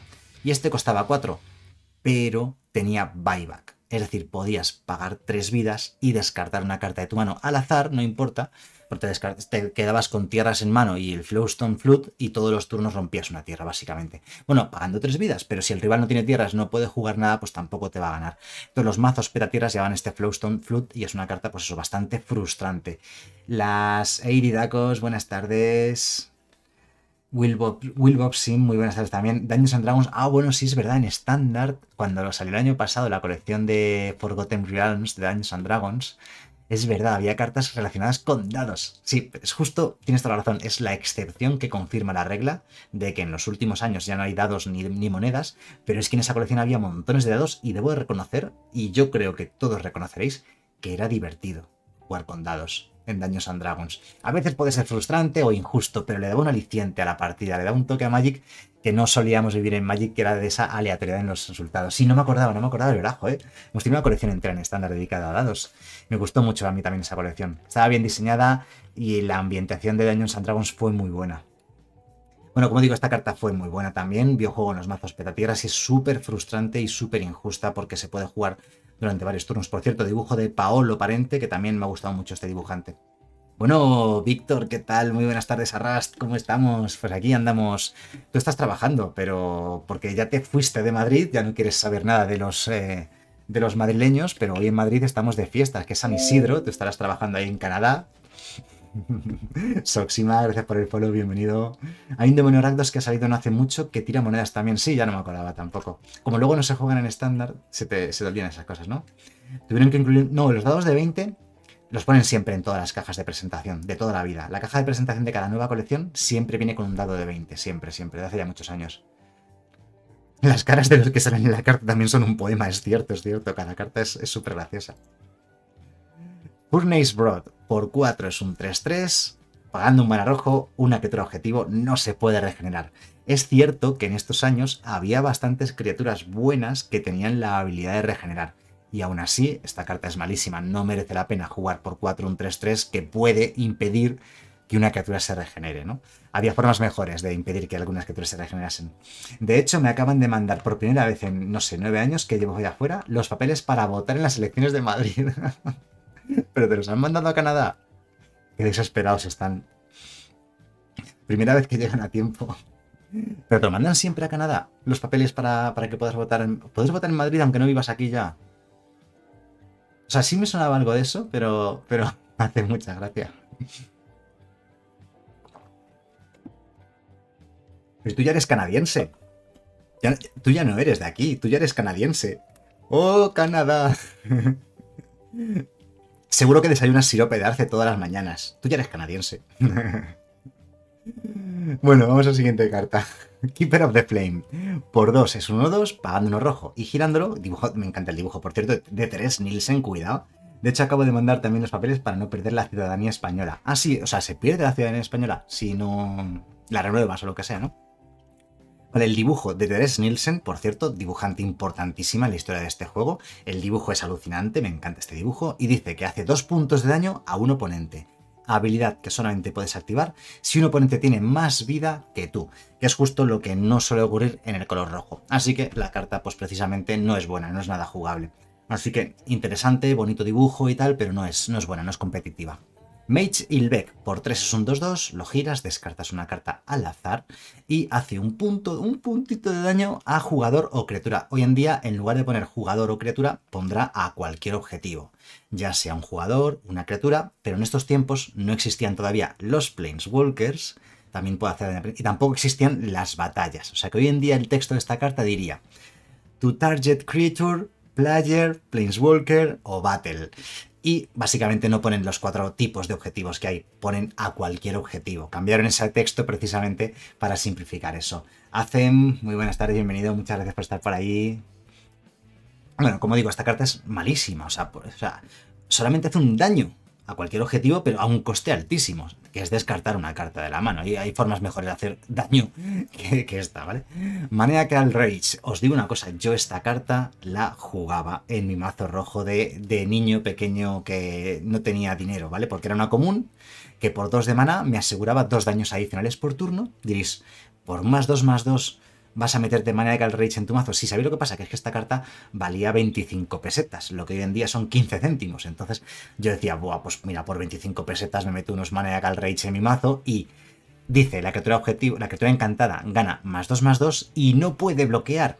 Entonces la usaba para darle más 2 más 2 a uno de mis bichitos rojos para poder atacar y hacer más daño, o la usaba para ponérsela a una criatura del rival y que no me pudiese bloquear a las mías. Entonces, bueno, era, era un poco ahí esa, esa doble faceta ¿no? que tenía esta carta. Eh, evidentemente, la carta es malísima. Eh, no se jugó nunca, no la juguéis, es muy mala, pero, pero tiene una mínima utilidad que, como digo, es esa, más 2 más 2 o que no puede bloquear. Y era algo útil para un mazo rojo agresivo. Yo la jugaba, pero porque era pobre y no tenía otra opción, ¿no? Mog Assassin por 3 es un 2-1, lo giras, tiras una moneda, si ganas la tirada, destruye una criatura objetivo de un oponente. Y si no, destruye eh, una criatura eh, que elija el oponente, ¿no? Entonces es bastante malo porque el efecto es simétrico. Si gano yo yo elijo la criatura que se destruye, pero si gana el rival la tirada de moneda, es el rival el que elige qué criatura se va a destruir. Así que esta carta es bastante mala. Es, es lo que es la aleatoriedad no es buena en un juego, ¿vale? En general no es buena. Si puedes evitar. Esto es una cuestión de matemática, es una cuestión de estadística, que se suele decir. Eh, siempre se tiende a, a, se trata de minimizar la varianza, ¿vale? ¿Para qué? Para que el resultado final de un experimento o de un suceso eh, sea mm, lo más cercano siempre a una media, ¿no? Entonces no importa que una media sea... O sea, no importa la media, lo que importa es que la varianza sea pequeña para que el resultado se aproxime a la media. Bueno, estoy diciendo muchas cosas aquí de, de años, de épocas anteriores de universidad y esas cosas. Monstrous Hound por 4 es un... A lo mejor lo digo, lo he comentado porque seguro que alguien que está en la universidad o que estudia estadística o que estudia economía eh, avanzada eh, con modelos matemáticos y tal, y, trabaja esas cosas y seguro que le ha hecho gracia. Bueno, Monstrous Hound, Monstrous Hound por 4 es un 4-4, no puede atacar a menos que eh, controles más tierras que el jugador defensor, es decir, que el oponente, o sea, esta criatura muchas veces no va a poder atacar y no puede bloquear a menos que controles más tierras que, el, que el jugador atacante. O sea, básicamente, si no tienes más tierras que el rival, esto ni ataca ni bloquea, no hace nada, básicamente. O sea, la carta es muy mala y, y encima es que ni siquiera es, ni siquiera es súper relevante. Por 4 es un 4-4 y ya está, que muy probablemente no pueda ni atacar ni bloquear. Carta malísima, otra rara mala. Y en estos años te comías una cantidad de raras malas en los sobres increíble. Los dibujos de antes eran mucho mejores que los de ahora, por una sencilla razón eran dibujos hechos 100% a mano, no tenían contenido digital, no tenían tratamiento digital y eran sobre todo, sobre todo mucho más sencillos y humildes. Yo creo que eran dibujos, pues bueno, que, seguían el, el, estilo Dungeons and Dragons de los 80 y de los 90 y simplemente nos vendían una fantasía medieval, una fantasía clásica con dibujos poco pomposos. O sea, el problema del dibujo hoy en día es que es recargado, pomposo, eh, hortera eh, y además con tratamiento digital que a mí me parece súper artificial cuando ves un dibujo eh, con tratamientos digitales. ¿no? En cambio estos dibujos son hechos sobre lienzo, sencillos, no están recargados, no son pomposos, no, no, son pretenciosos en, en, absoluto, son dibujos sencillos, ¿no? Y eso yo creo que le da un encanto que hoy en día no tienen, ¿no? Como aquí podemos verlo clarísimamente. Aquí, aquí de hecho, es que el fondo es blanco directamente, no hay fondo, ¿no? Es totalmente liso, ¿no? Hey Félix, muy buenas tardes, por cierto, bienvenido. A ver, dice Roger. Bueno, ya sabemos que la aleatoriedad no es buena, pero los jugadores de Magic seguimos lidiando con ella cada día. Efectivamente, de hecho, lo peor que tiene Magic, de lo que más se queja la gente, es de la parte que es aleatoria. Ay, que no robo tierras, ay, que robo muchas tierras, ay, lo que robo y lo que no robo. Siempre es la mayor queja de Magic. ¿Cuál es? La aleatoriedad, la varianza en los resultados. Sí, efectivamente, los dibujos eran tremendos, me flipan. Los de hoy son súper genéricos fotosoperos, sí, sí, totalmente. Los dibujos de ahora son muy infantiles. Además, eso es cierto, es cierto, Yudakos. Son, yo no diría infantiles, diría peor, diría inmaduros. No, pero mira qué dibujo más tonto. Sí, pero son dibujos maduros, no, pretenden ser lo que no, lo que no pueden ser, ¿vale? Es cierto, es cierto, sí. Y de fantasía, que hoy en día se buscaba la realidad en todo y eh, a mí me parece que se pierde el carácter. Claro, es que Big Green, buenas tardes. Y Katire, buenas tardes. el Super al pretender hacer que los dibujos de hoy en día parezcan reales, estás haciendo el ridículo. Porque esto no es real, ¿vale? Es ficción es fantasía. Entonces, claro, pretender hacer dibujo realista de algo que no es real es ridículo, no tiene sentido. Bueno, Oath of Mages, el juramento de, supongo que se llama de los magos en español, el juramento rojo. Ya sabéis que hay un juramento en cada color en esta colección. Y el juramento rojo se llamaba juramento de magos, correcto por 2, encantamiento, durante el, mantenimiento de cada jugador, porque tiene un efecto simétrico que afecta a los dos jugadores, si ese jugador tiene menos vida que el oponente, eh, le hace un punto de daño al oponente, es malísimo, o sea, es invertir eh, tus recursos en una carta para que el rival te haga daño a ti y tú le hagas daño a él, pero solamente un daño. O sea, es una carta lentísima, el color rojo tiene mil formas mejores de hacer daño y esto no hace prácticamente nada. otro juramento malo, ¿vale? O sea, de los juramentos el único bueno era un poquito el blanco y el verde, sobre todo el verde que era el verde era buenísimo, ¿no? Pero el rojo, el negro, el azul son totalmente injugables. Ogre Shaman. El chamán ogro por 5 es un 3-3, vagas 2, descartas una carta al azar y hace dos dañitos a eh, cualquier objetivo, ¿vale? Aquí pone criatura o jugador, pero hoy en día está cambiado el texto y pone a cualquier objetivo. El tipo de criatura, por cierto, no es ogro, es ogro chamán. Curiosamente, igual que el nombre de la propia carta, ¿no? Ahí bastante, es bastante curioso. Bueno, carta bastante mala. Otra rara mala de estas. Mucho mana, pagar 5 para solamente un 3-3. Luego hay que pagar otros dos más y descartar una carta al azar, que ya hemos dicho que el azar es malo, para hacer solamente dos daños a cualquier objetivo carta terriblemente mala. Onslaught, unos poquitos años más tarde, salió una colección que se llamó Onslaught, Embestida. Por un mana negro, o sea, perdón, por un mana rojo, encantamiento, siempre que lances un hechizo de criatura, por cierto, hoy en día la palabra successfully, es decir, satisfactoriamente, no está escrita, se ha quitado para simplicidad. Por simplicidad, ¿vale? Por el funcionamiento de la carta. Es siempre que lances un hechizo de criatura. Se resuelva o no se resuelva, no importa giras una criatura. Carta terriblemente mala, es, evidentemente para un mazo de criaturas, juegas criaturas y vas girando las del rival para que no te pueda bloquear. Pero ya os he dicho muchas veces que en construido eh, bloquear o no bloquear no es la parte crucial de una partida, ¿vale? Así que esta carta está, es bastante mala, incluso en limitado, lo que os he dicho también algunas veces. No merece la pena invertir una carta de tu mazo y un mana rojo y una carta que has jugado en un efecto tan pobre, ¿no? Que por sí misma esta carta no hace nada, ¿no? Pandemonium por 4 encantamientos siempre que una criatura entre en juego, el controlador de esa criatura eh, puede elegir que haga daño igual a su fuerza a cualquier objetivo. Si no me equivoco, este Creator Player está traducido como cualquier objetivo.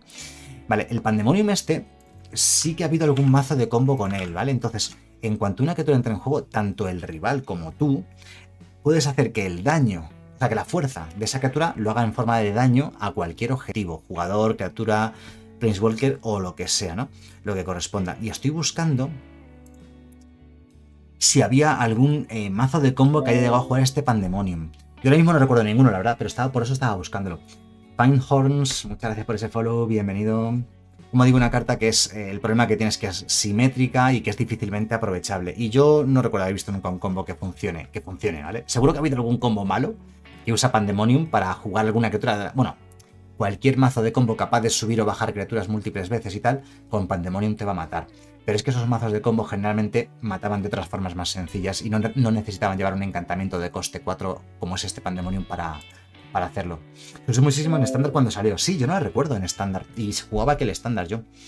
Estalló de y reabastecer. Ah, sí, entonces sí que se jugaba. Vale, pues no me acordaba yo de que esa carta se jugaba.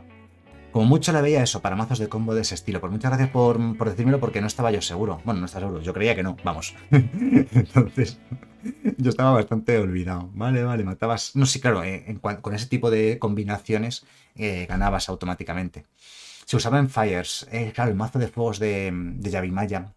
Sí que recuerdo haberlo visto jugar también. Zalamord, muy buenas tardes. Por cierto, muchas gracias a todos los que estáis por aquí. Finehorse, eh, Zalamord, eh, Nessinhoth, que además me estáis echando una mano con cosas que a lo mejor yo no me acordaba de algunas cartas, que sí que tenían utilidad y que yo pensaba que no eran buenas o que no se jugaban o lo que fuese. Bueno, vamos a la siguiente. Paroxismo o paroxism en inglés. Por dos. Y Pablo from Pendrenvale, muy bonito nombre, muchas gracias por ese follow, bienvenido. Por dos, encantar criatura, o sea, hoy en día pondría encantamiento aura.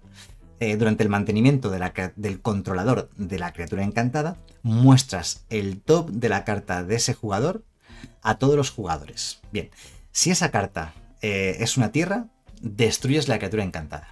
Si no, gana más 3 más 3 hasta el final del turno. Vale, o sea, este paroxismo, que esta carta es mala porque tiene el tema este de la alteridad, si sale una tierra va a destruir la criatura a la cual encantes. Entonces tú quieres ponérselo a una criatura del rival para que se muera pero si no sale eh, una tierra, la criatura va a ganar más 3 más 3. Entonces, bueno, tiene un efecto aleatorio terrible. Si sabes que tú no vas a robar tierra y se lo pones a una criatura tuya para darle más 3 más 3, quiero decir, al final, hay mejores anticriaturas si tu objetivo es matar criaturas del rival y hay mejores formas de dopar a tus criaturas si tu objetivo es dopar tu criatura. Digamos que esto lo que hace, lo hace mal todo, ya sea dopar o matar. Bastante mala. Price of Progress. Esta carta sí que es buena y seguro, no lo sé, llevo años, ya sabéis que llevo años sin jugar Legacy, 10 años o 5 años sin jugar Legacy, pero seguro que esta carta a día de hoy se sigue jugando en Legacy.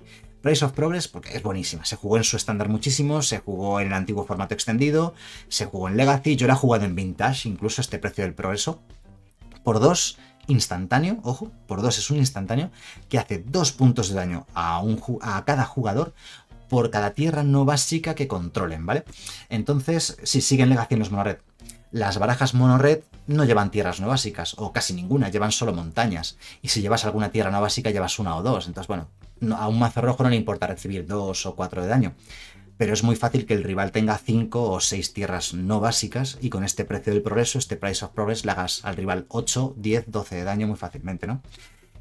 ¿Esta carta hace falta hoy en día? Pues algo por aquí deberían hacer, es cierto, porque todo el mundo juega muchísimas tierras no básicas en sus mazos y no se castiga. Si os dais cuenta, efectivamente, antiguamente se castigaba mucho las tierras no básicas, había muchas cartas que castigaban las tierras no básicas, y hoy en día no se castiga y todos los mazos llevan 3, 4, 5 colores. O sea, es increíble que hoy en día en estándar estemos jugando en mazos de 3 colores con invocar a desesperación. Carta que cuesta cuádruple negro y se juega. Y es cierto que eso al final eh, hace que el juego pierda su esencia original. la esencia original del juego es que hay cinco colores y cada color es independiente o son muy distintos entre sí. Si todos los mazos de estándar pueden llevar todos los colores en cualquier combinación, el juego pierde parte de su esencia. Press of Progress es una de esas cartas que eh, dificultaría que los mazos sencillamente fuesen de 3, 4, 5 colores y encima jugasen cartas de cuádruple negro, ¿no? Que es lo que está pasando. Bueno, el precio progreso de todas maneras es una carta especialmente desproporcionada y por eso, a pesar de que han pasado ya 25 años desde que se lanzó esta carta, a, día de hoy se sigue jugando en los mejores formatos de Magic, ¿vale? El precio del progreso. Entonces, nunca va a salir esto en estándar. No, pero deberían planteárselo. Algo de este estilo, ¿vale? Lo que estaba comentando de frenar un poco, porque todos los mazos, o sea, son de 3, 4, 5 colores sin problemas y juegan lo que les da la gana y como les da la gana. Y llevan tierras triples, tierras dobles, tierras dobles con habilidades, tierras que se convierten en criaturas, o sea, hay una cantidad, es, desproporcionado y como digo, le quita, quita sentido al juego, le quita la esencia original al juego. No, no va a salir, pero ah, que piensen en ello, ¿vale? Que, le, den un par de vueltas al tema de lo que estamos hablando.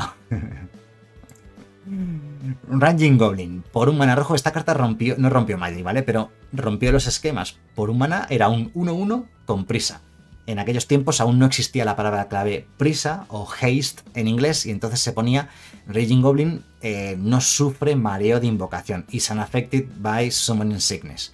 No sufre mareo de invocación. Mareo de invocación es precisamente lo de las criaturas no pueden atacar o activar sus habilidades que requieran girarse el turno que las has jugado, ¿no? El turno que han entrado en juego, mejor dicho. Bueno, pues por un 1-1-1 prisa y además Goblin. La modernidad está matando Magic. Bueno, la evolución. está evolucionando Magic, está cambiando, pero a lo mejor es que somos un poco abuelos cebolleta todos, somos un poco viejos. Y por eso tiene 30 años el juego, sí.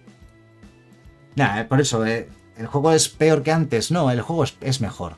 Sea, es decir, hay cosas que podemos criticar del juego, ¿vale? O sea, pongámonos serios. O sea, yo he vivido toda la historia de Magic. Llevo 28 años jugando a Magic. 27, 26, 27 o 28 años, 27 y medio. El caso es que he visto el juego desde el principio hasta ahora. Y el juego, voy a decir que es mejor que antes, ¿de acuerdo? Lo que pasa es que evidentemente hay cositas, detalles que son peores que antes. Hay algunas cosas que yo no las habría hecho así o que han evolucionado creo que a mal, pues por mil razones. Hay mil razones por las cuales toman decisiones que a lo mejor perjudican al juego. Razones económicas, razones de marketing, de imagen, de... yo qué sé, mil cosas, ¿vale? Mil factores. Hay algunas cositas que son peores, pero hay otras muchas cosas que son mejores que antes. Yo creo que en conjunto el juego, como juego, es mejor que hace 20 años, o mejor que hace 10, o mejor que hace 25 lo han evolucionado, lo han hecho evolucionar. Hay otras cosas que son peores. A mí, por ejemplo, no me gusta. No me gustan los Walkers. Como a, los viejos no nos gustan los Walkers. Eso es una cosa que más o menos toda la gente de mi edad, o que jugó a Magic desde los 90, os va a decir que los Walkers no encajan en Magic. Y otra cosa que puede que no me gusten sean los dibujos, cosas también de viejo. Y, algunas cositas que hemos que comento algunas veces. Pero la identidad de color, creo que se ha perdido la identidad de color de cada color es uno y bueno, sí, como máximo un mazo de dos colores. Desde luego no puedes llevar en un mazo de tres colores cartas cuádruple negro, ¿no? Los walkers son injustos, tienen... hay cartas que están mal diseñadas. Por ejemplo, a mí las batallas no me parece que estén bien diseñadas. Me parece que son una buena idea, pero me parece que las han llevado mal a cabo las batallas. Bueno, hay cositas, cositas que están mejor, cositas que están peor, pero creo que en general el juego está mucho mejor que hace 25 años, que hace 20, que hace 15 y que hace 10. Bueno, Raging Goblin. Goblin 1-1, prisa, es que nunca hubo... Fue la primera criatura que costaba lo mismo que pegaba y tenía prisa. Entonces por eso esta carta nos voló un poquito la cabeza. O de las primeras que tenía esa posibilidad, además siendo trasgo para el mazo de trasgos. Ravenous Baboons. Eh, por 4 es un 2-2. Cuando entran en juego destruyen una tierra no básica. Pues esta carta es buena. Porque es un 2 por 1. Por 4 es un 2-2. Entra en juego, destruye tierra no básica. Y además te quedas con un 2-2 en mesa. Si tienes alguna forma de devolverlo al juego, sacarlo, meterlo, lo que sea, siempre que entra en juego destruye una tierra no básica. El problema de estos Ravenous Baboons es que tampoco había tantas tierras no básicas en aquellos tiempos. Había mazos que eran 20 llanuras, o 20 islas, o 20 montañas, y no tenían, no tenían tierras no básicas. Pero bueno, así, esta carta es buena, es bastante molesta, y vio juego en los mazos petatierras. Hoy en día ya no, me imagino que esta carta ya no se juega porque hay otras opciones mejores que ella, ¿no? De hecho, en Standard, hace dos o tres años, en Ravnica, en Zendikar, ¿en qué colección tuvimos? En Magic Arena está, hay un bicho igual que este, igual que este, pero con prisa. Muy parecido a este, parecido, pero con prisa. Es mejor que este, por tanto. Un trasgo. Eh, gracias por el follow. Y es un mono, apes. Está cambiado el, tipo de criatura, ¿vale? Hoy en día en lugar de apes, simios, pone monkey, ¿vale? Mono. Buena carta, ¿eh? En cualquier caso. Reckless Ogre. Esta carta la jugaba yo porque no tenía otras opciones. por 4 son 3-2, bastante malo. Pero cuando ataca, si atacas solo, gana más 3 más 0. O sea, yo decía, wow, por 4 puede pegar 6 si atacas solo, no está mal. La carta es mala porque como solamente aguanta 2, te la mataban con cualquier anticriaturas, con cualquier bloqueo, tenía que atacar sola para que ganase ese más 3 más 0 y estabas gastando 4 de mana para un triste 3-2. Así que la carta es bastante mala, pero yo le tengo cariño porque como yo era un niño pobre en aquellos años, pues tenía que jugar este tipo de cartas malas. Ya os he contado el jinete de avalancha que tenía Eco, efectivamente, que salió el siguiente año en Saga de Urza, efectivamente. Karelui. Sabertooth Wyvern por 5 es un 3-2, vuela, daña primero. No es suficiente, la carta sigue siendo muy floja, mucho mana para algo tan pequeñito como esto. No sé yo siquiera si en limitado lo querría jugar, supongo que en limitado sí, pero sin llamar demasiada atención. Scalding Salamander por 3 es un 2-1 puedes. Este texto está totalmente cambiado, no está redactado de esta manera. El texto actual dice lo siguiente: Siempre que la Scalding Salamander ataque, puedes hacer que haga un daño a cada criatura que no tenga volar del jugador defensor. O sea, en el fondo la habilidad es poderosa, es buena porque cuando atacas hace un dañito a todas las criaturas no voladoras del rival, un dañito. Es poco, pero es algo, ¿no?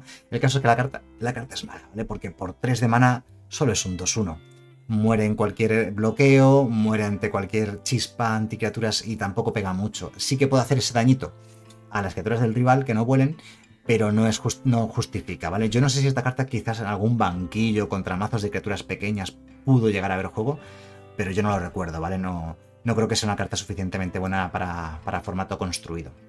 Bueno, asalto sísmico.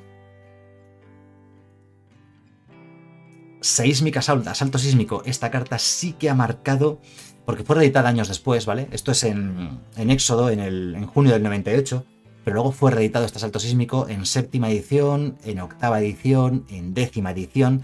Es decir, esta carta ha estado en estándar en diferentes épocas, está actualmente en Modern, por tanto, y de hecho, ¿en Modern se sigue jugando el asalto sísmico? Supongo que sí.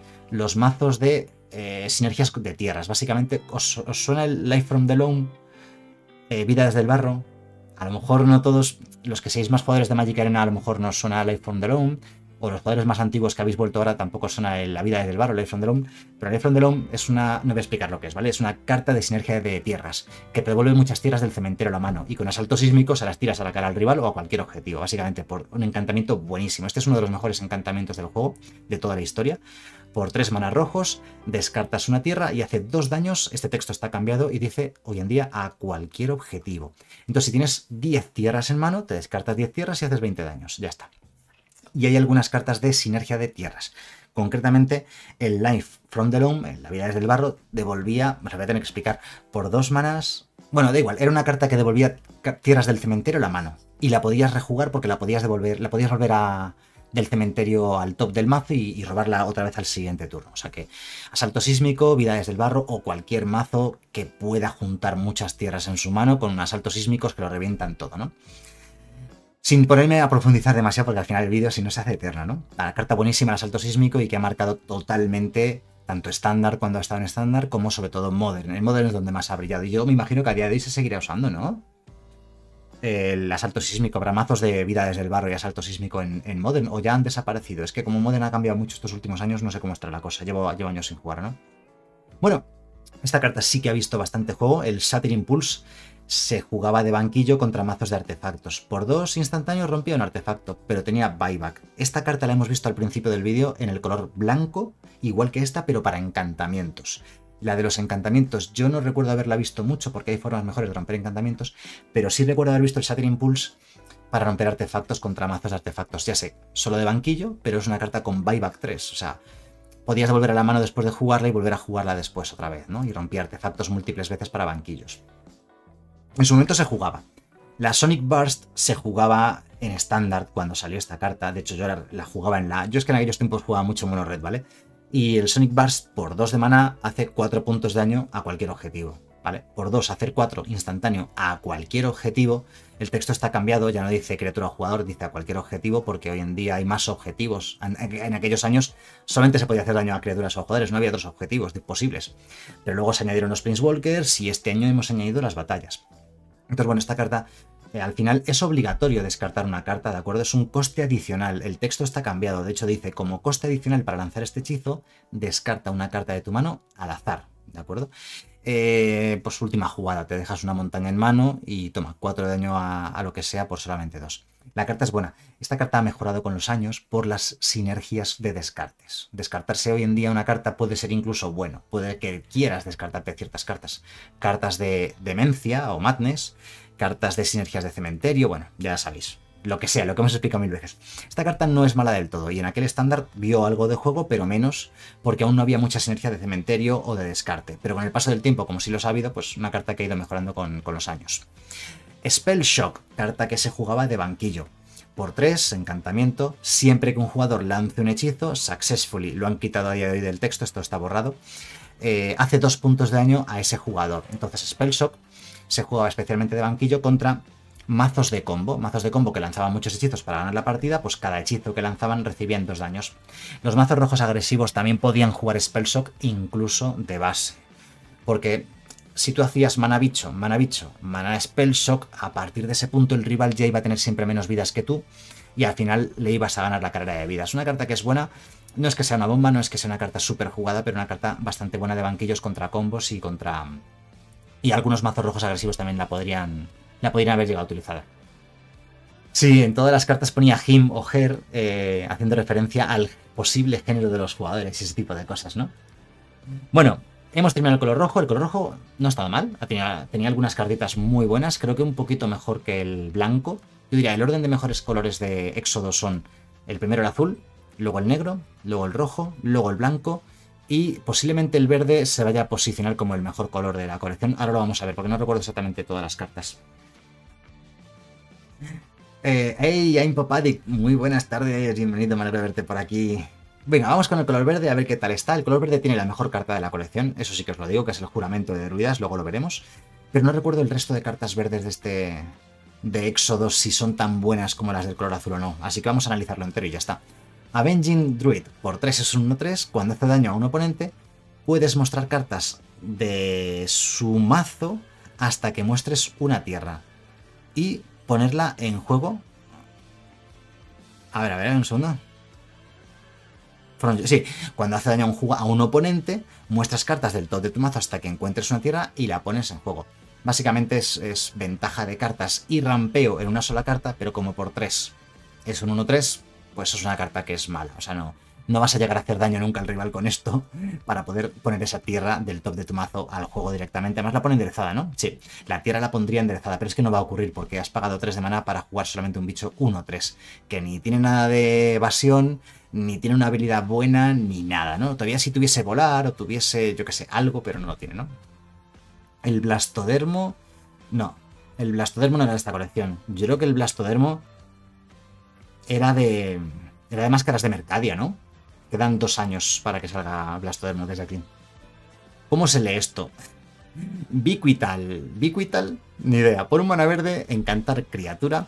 Si la criatura encantada va a un cementerio, robas dos cartas. Mala idea, ¿vale? Porque si te matan la criatura en respuesta, de alguna manera, pierdes el encantamiento, pierdes la criatura y no robas las dos cartas. Tiene que estar el encantamiento puesto sobre la criatura cuando la criatura muere, para que robe las dos cartas. Así que no merece la pena. Hay mejores formas de obtener ventaja de cartas que esta cosa. Y además si te ha muerto la criatura, ¿qué ganas con ello? Cartographer, por 3 es un 2-2, cuando entra en juego devuelve una tierra de tu mano, o sea, perdón, de tu cementerio a tu mano. No es mala del todo, pero requiere una tierra en el cementerio. Como en estos años no había Fetchlands, o las que había no se jugaban, no había muchas tierras en los cementerios, ¿vale? Entonces era difícil que con esto sacases ventaja de cartas. Yo no, esto en estándar no recuerdo que se jugase y no, no me parece especialmente bueno, ni siquiera para su época, ¿no? ¿Se juega en Pauper esta? Bueno, en... no, esta no es, común. O está editada como común. Ah, que el Biquital este se juega en Pauper. Me acabo de dar cuenta, me acabo de dar cuenta de que es un engrampa cráneo. Ahora que lo has dicho, lo de que se juega en Pauper, he dicho, espérate, espérate. ¿Cómo que se juega en Pauper? Ahí digo, claro, claro, es que esto es un engrampa cráneo para una vez, claro, nada más, ¿no? Claro que el engrampa cráneo también da menos uno, menos uno y hace que la criatura se muera automáticamente, ¿no? Bueno, pues eh, interesante al menos. Bueno, Crashing Boars por 5 es un 4-4. Cuando atacan, el jugador defensor elige una criatura enderezada que controla y esa criatura bloquea obligatoriamente a los Crashing Boars. Vale, por 5 solamente son un 4-4, que deben ser bloqueados obligatoriamente si pueden. alguna criatura del rival, ¿no? No merece la pena, es una carta mala porque por 5 solamente es un 4-4, ¿no? Ah, muy poi, muy buenas tardes. En Astral Slide se jugaba el cartógrafo. Tiene lógica. Pero hablamos de Legacy. En Legacy se jugaba el cartógrafo con Fetchlands y tal, ¿no? Es lo, que, es lo que he comentado, que sin Fetchlands no lo veía yo muy útil. Pero si hablamos de Fetchlands y hablamos de Astral Slide, cuando nació Legacy, es cierto. Cuando nació el formato Legacy, hace un montón de años, ¿hace cuánto nació Legacy? Hace 15 años. En el tipo 2. Es que el, cartógrafo fuera, editado, estuvo en estándar con el Ah, es que fue editado en Odisea. Vale, lo vais a ver aquí. Ahí está, ¿veis? El cartógrafo fue editado en estándar en Odisea. No me acordaba. Vale, aquí está. Fue editado unos años más tarde en estándar y en estándar estaba con la Astral Slide. Vale, sí, ya me acuerdo, me acuerdo. Me acuerdo porque yo he jugado. He jugado Astral Slide en estándar en esta época. Fue justo una época en la que, en la que jugué mucho, mucho, mucho Magic. Bueno, cierto, cierto. Gracias por decirlo. Bueno, siguiente carta. Elven Palisade, por un mana verde, encantamiento, sacrificas un bosque y le da menos 3, menos 0 a una criatura objetivo. Esta carta sí que es mala, porque si lo que quieres es evitar recibir daño, hay otras formas en el color verde mucho mejores, como el Fog, que previene todo el daño de un ataque o cosas del estilo. Vicen Vip, gracias por ese follow, bienvenido. Entonces, bueno, una carta muy, muy mala. Es un encantamiento. Fijaos, tienes que jugar un encantamiento que no hace nada y luego sacrificar obligatoriamente tiene que ser un bosque para solamente dar menos 3, menos 0 a un bicho. Es malísima. Elvis Berserker, por un mana verde es un 1-1, por cada criatura que lo bloquea gana más 1, más 1 hasta el final del turno. Es un bicho que dices, ah, pues mira, para bloquearlo es difícil, pues no lo bloqueas y ya está. Total, es un 1-1 nada más. Es elfo, pero hay cartas mucho mejores que esta, ¿no? tienes que bloquearlo con un 3-3 o con un 2-3 para que se muera. Pero como solamente pega uno, es una criatura que no es buena, ¿no? Si no lo bloquean, estás, has invertido una carta y un mana verde en algo que solo pega uno. Eh, Jackalope Heart. Por 4 es un 4-5, que es mucha estadística en aquellos tiempos por 4 que algo sea 4-5, seguramente esto sea una pega. Eh, si juegas cualquier hechizo, te los devuelves a la mano. Vale, pues eso. Esta carta es mala porque sí, por 4 tienes un 4-5, pero en cuanto juegues un hechizo, y tendrás que jugar algún hechizo en algún momento de la partida, se te devuelven a la mano y tienes que volver a jugarlos pagando otra vez 4. Puede dar lugar a combos, pero creo que hay otras, hay otras criaturas que tienen este mismo texto, mucho más baratas que esta, que hacen lo mismo. Juegas un hechizo, la devuelves a la mano y por tanto puede dar lugar a algún tipo de combo de jugarla, volverla a la mano, eh, lo que sea, ¿no? Con otras cartas, pero no es el caso para esta carta. Keeper of the Beasts por 2, es un 1-2, es el, es el ciclo de, hechiceros que hay en esta colección, uno en cada color. El verde, por mana verde, lo giras y pone un token 2-2 de, de bestia, ¿vale? Con una bestia 2-2 en mesa solo si un oponente tiene más criaturas que tú. Así que bueno, es una carta que yo creo que en limitado es bastante buena. Basta con que el rival tenga más criaturas que tú para que pongas un 2-2. En limitado, en cuanto pongas un oso 2-2, ya esta carta se ha rentado. Porque tendrás por dos manas un 1-2 y además por un mana más un 2-2. O sea, es un 2 por 1 básicamente. Pero en construido es muy lenta y muy poco clara. Para empezar, si el rival no tiene criaturas, nunca vas a poder usarla. Entonces, no es una carta buena para construido. Siguiente carta, el Mana Bond. Esta sí que es buena, sí que es bastante histórica. Voy a mirar cuánto vale hoy en día, porque es una rara que no ha sido reeditada nunca, esta carta. Y es posible que sea una carta... Ah, pues no, no es tan cara. Más o menos en torno a 10 euros puede valer una carta, un Mana Bond en buen estado. Bueno, pues dice que eh, al final del turno, ¿vale?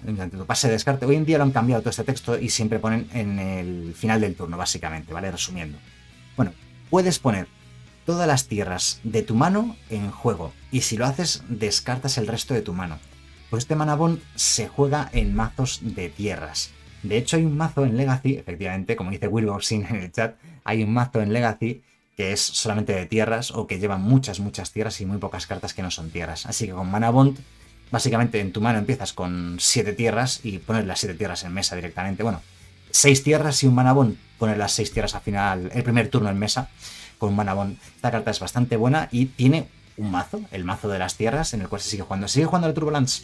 No, Turbulence no es el nombre, ¿no? Es la 43 Lands, ¿no? Ha cambiado eso. Hace muchísimos años que no juego a Legacy, pero ah, cuando surgió el mazo, yo sí jugaba mucho a Legacy cuando nació aquel mazo, y se llamaba 43 tierras, 43 Lands. Lands. Pero en aquel tiempo llevaba 43 tierras y luego, bueno, algunos hechizos añadidos como esto para combar, ¿no? Eh, para buscar, para hacer truquillos o cosas. Ya, por ejemplo, también, ¿cómo se llama esta? El, hechizo este que se juega gratis y que busca una tierra. Bueno, no me acuerdo cómo se llama, ya no me acuerdo muchas, muchas. Pero vamos. En cualquier mazo que sea de tierras, y los hay, los ha habido, este Manabond es brutal como carta. Mirri Cat Warrior, me acuerdo cuando salió esta carta, que la veíamos y decíamos, no puede ser, es buenísima, está rotísima, y luego no se jugó por 3 es un 2-3 que eh, tiene dañar primero y eh, cruzar bosques, ¿vale? Es decir, cruzar bosques quiere decir que si el rival tiene un bosque, no te puede bloquear, ¿vale? No puede ser bloqueada si el rival controla bosques. Entonces decíamos, juego por 3 es un 2-3 que está bastante bien, tiene dañar primero y encima puede ser imbloqueable. Y además tiene, la última línea, dice atacar no hace que eh, Mirri se gire. Es decir, vigilancia, lo que llamamos vigilancia. Tiene vigilancia, dañar primero, cruzar bosque, decíamos, esta carta está rotísima. y cómo ha cambiado Magic, cómo ha cambiado Magic, que esta carta hoy en día te la pueden sacar como común perfectamente y no jugarse nada, ¿no? Dañar primero en verde, bueno, sí, y bueno, vigilancia en verde sí que es un poquito más habitual. pues cuando salió, me acuerdo, cuando la vi por primera vez, la vimos por primera vez, cuando yo era un niño, claro, en aquellos tiempos, y no teníamos ni idea de Magic, y Magic estaba en pañales como juego. Y el nivel de las cartas no era tan alto como hoy en día. Es que las cartas de hoy en día te sacan por 3 de maná, te sacan un 5-5 arroya prisa, y yo qué sé, cosas así. Esto, pues en aquellos tiempos esto era brutal. Y decíamos, no puede ser tan buena. Pero luego, luego a la hora de la verdad, yo no recuerdo que se jugase. Yo creo que no vio nada de juego, prácticamente nada, porque los mazos verdes agresivos que había en aquellos tiempos llevaban, llevaban criaturas mucho más eh, agresivas, como el elefante enloquecido, que por uno era un 3-3. criaturas con, mayor utilidad, como la boa de río, por ejemplo, que se regeneraba y tenía cruzar islas, que era quizás mejor que cruzar bosques. Bueno, ahí estaban las cosas. Pero la carta es muy chula. Y llegamos al juramento de druidas, el Oath of Druids, seguramente la mejor carta de esta colección, una de las mejores cartas de historia. Por cierto, tengo, tengo varios juramentos de druidas por aquí, los, busco, a ver, si a ver si los encuentro. En algún sitio... No sé dónde han ido. Si me pongo a buscarlos, tengo varios juramentos de druidas, que me los dejó un amigo para ver si se los vendía en Magic Market. Se seguirá jugando, supongo, a día de hoy esta carta en Legacy o en Vintage, pero eh, se jugó hasta la saciedad en estándar, se jugó hasta la saciedad en el antiguo formato extendido. De hecho, yo tenía lo que sí se llamaba Turbulence. Yo tenía Turboland, perdón. Yo tenía un mazo Turboland en el antiguo formato extendido. Estoy hablando del año 2003, que llevaba cuatro juramentos de druidas, llevaba bueno, Turboland de aquel tiempo que tenía, hacía un combo de turnos infinitos, te quitaba, no llevaba criaturas el mazo, te tirabas el mazo entero al cementerio con el juramento de druidas y, luego ganaba turnos infinitos con Time Warp, con un bicho, bueno, o sea, una locura de mazo, no sé aquí a lo mejor algún viejo del, del canal lo conoce, llevaba cuatro exploraciones, llevaba cuatro cuernos de la codicia, una Turboland y con cuatro juramentos de druidas. Y como digo, se tiraba el mazo entero. Vale, juramento de druidas. Por dos es un encantamiento que dice lo siguiente.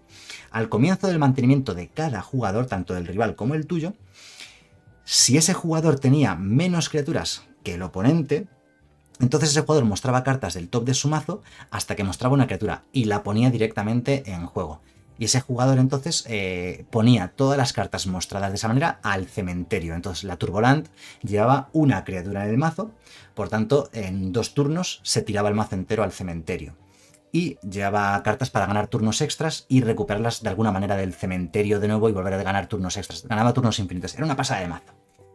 Yo tengo ese mazo, lo uso para Premodern. ¡Oh, qué bonito! Pues yo lo jugaba en extendido, en el antiguo formato extendido, hablando de eso de principios de los 2000 y lleva cuatro juramentos de druidas. Es una de las mejores cartas de la historia del juego. Y diréis, ah, es para ponerte una criatura gigante del mazo y tal. No, es realmente el juramento de druidas se usa, bueno, sí se usa para eso, siempre se usa el juramento de druidas para poner pinos en mesa gigantes, pero también se ha usado para tirar el mazo entero al cementerio. Yo es que creo que es un error de diseño.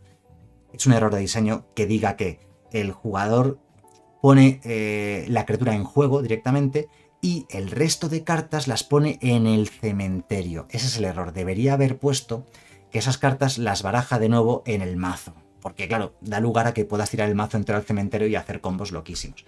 El juramento de druidas es buenísimo porque funciona en mazos de combo para tirarte el mazo, el mazo al cementerio si no llevas criaturas. Y funciona en mazos de, de tipo reanimator, o sea, de, pinos, de, criaturas gigantes que al entrar en juego ganas la partida o cosas del estilo, ¿no?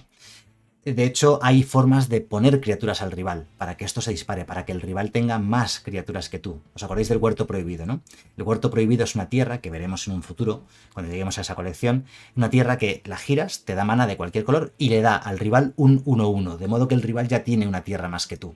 Tiene, perdón, una criatura más que tú. Así que haces eh, eh, huerto, juramento de druidas, ya tienes una criatura más que yo, por tanto ya se dispara la habilidad del juramento de druidas. Nada, una carta muy buena, no, no, hay, mucho más, más vueltas que darle porque es una de las mejores cartas de la historia de este juego y seguramente sea la mejor carta de Éxodo. Haré un top 10 de Éxodo que subiré a YouTube en los próximos días y ya he hecho bastante spoiler de para mí cuál es posiblemente la mejor carta de la colección, pero tengo que pensarlo bien antes de tomar una decisión.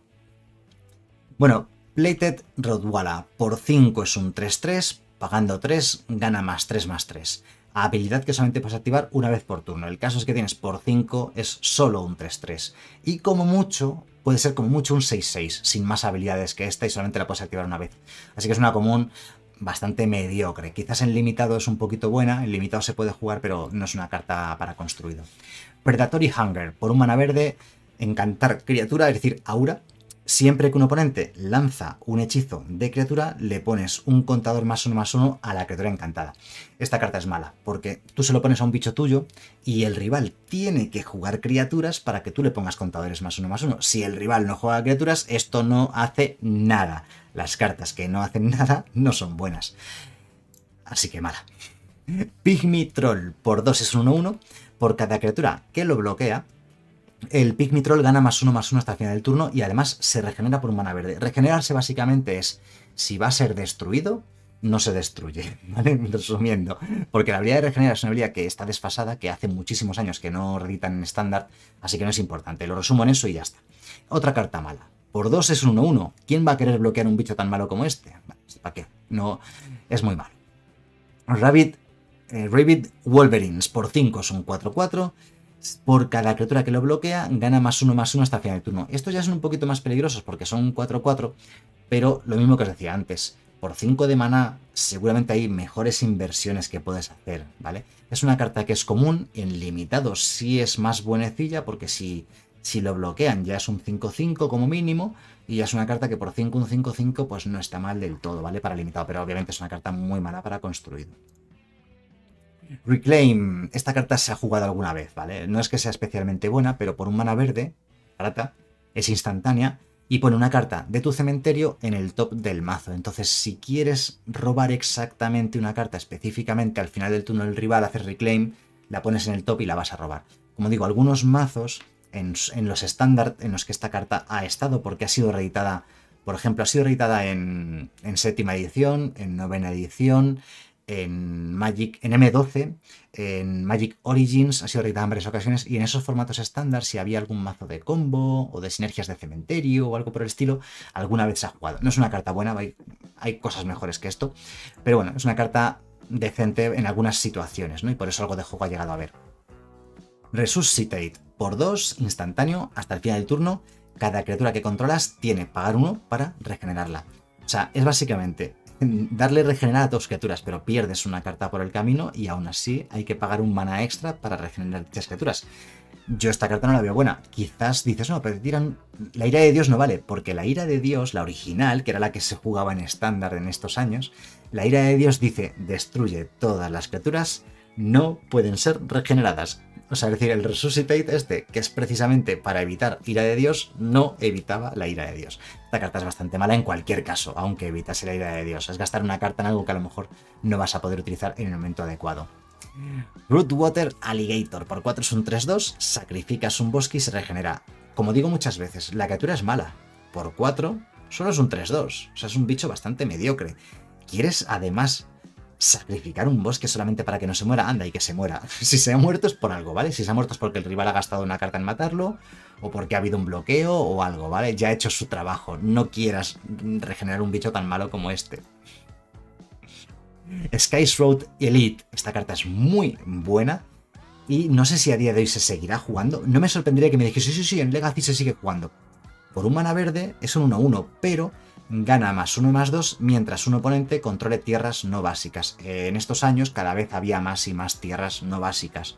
Entonces los Skies Road Elite es por un mana verde una criatura 2-3 y además es elfo.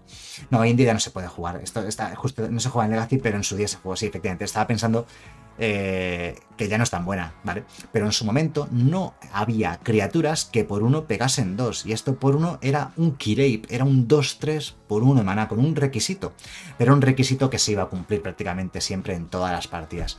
Entonces durante muchos años ha sido una de las mejores criaturas agresivas verdes que había, por un maná, un bicho que aguantaba 3 y pegaba 2. Hoy en día ya no se juega porque hay cartas que son incluso mejores, no sé si lo sabéis, pero hoy en día tenemos por un mana verde un 3-3, directamente bueno, tiene un requisito, pero el requisito se cumple siempre, que es controlar una montaña y una llanura, ¿verdad? Para que sea 3-3. Pero por un mana verde es un 3-3. Basta con que controles montaña y llanura, que con tierras dobles es súper fácil y ya está, ¿no? Bueno, pues este Skies Road Elite durante muchos años ha sido una carta muy buena y muy jugada en mazos agresivos. Skies Road War Beast, por 2, es un asterisco, asterisco, asterisco, asterisco, roya, cuya fuerza y resistencia son igual al número de tierras no básicas que controla un oponente. Y esta carta yo creo que también se ha jugado, pero quizás de banquillo. De banquillo sí que se ha jugado, de base yo creo que no.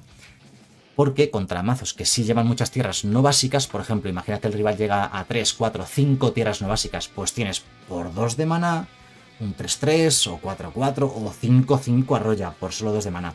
Esta carta yo creo que de base no se jugaba, pero de banquillo sí que se juega porque es absolutamente bestial contra muchos mazos. Hoy en día tampoco, hoy en día seguro que no. Hace muchos años que yo no la veo jugar esta carta, muchos, muchos años.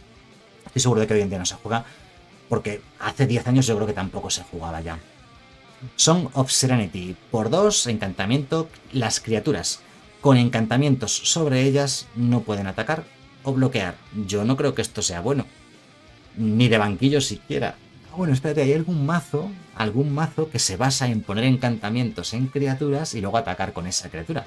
Quizás este Song of Serenity de banquillo contra algún mazo de esos, de poner criaturas en encantamientos sobre criaturas y luego atacar con ellas para ganar la partida, quizás esto de banquillo sí que se ha jugado o se pueda jugar incluso a día de hoy. No es mala esta carta. Contra, contra mazos encantres, ¿vale? Encantres de los antiguos, de los de estos años, que había eh, en estos eh, años de estándar y de formato extendido y tal. O eh, el mazo de encantres actual que pueda haber. A ver, en Magic Arena hay un mazo de encantres en, en histórico, pero esta carta no es tan histórico. Esta carta no ha sido reeditada nunca. Solamente fue editada una vez en Éxodo y nunca más. Es buena esta carta, ¿eh? De banquillo. Contra ciertos mazos.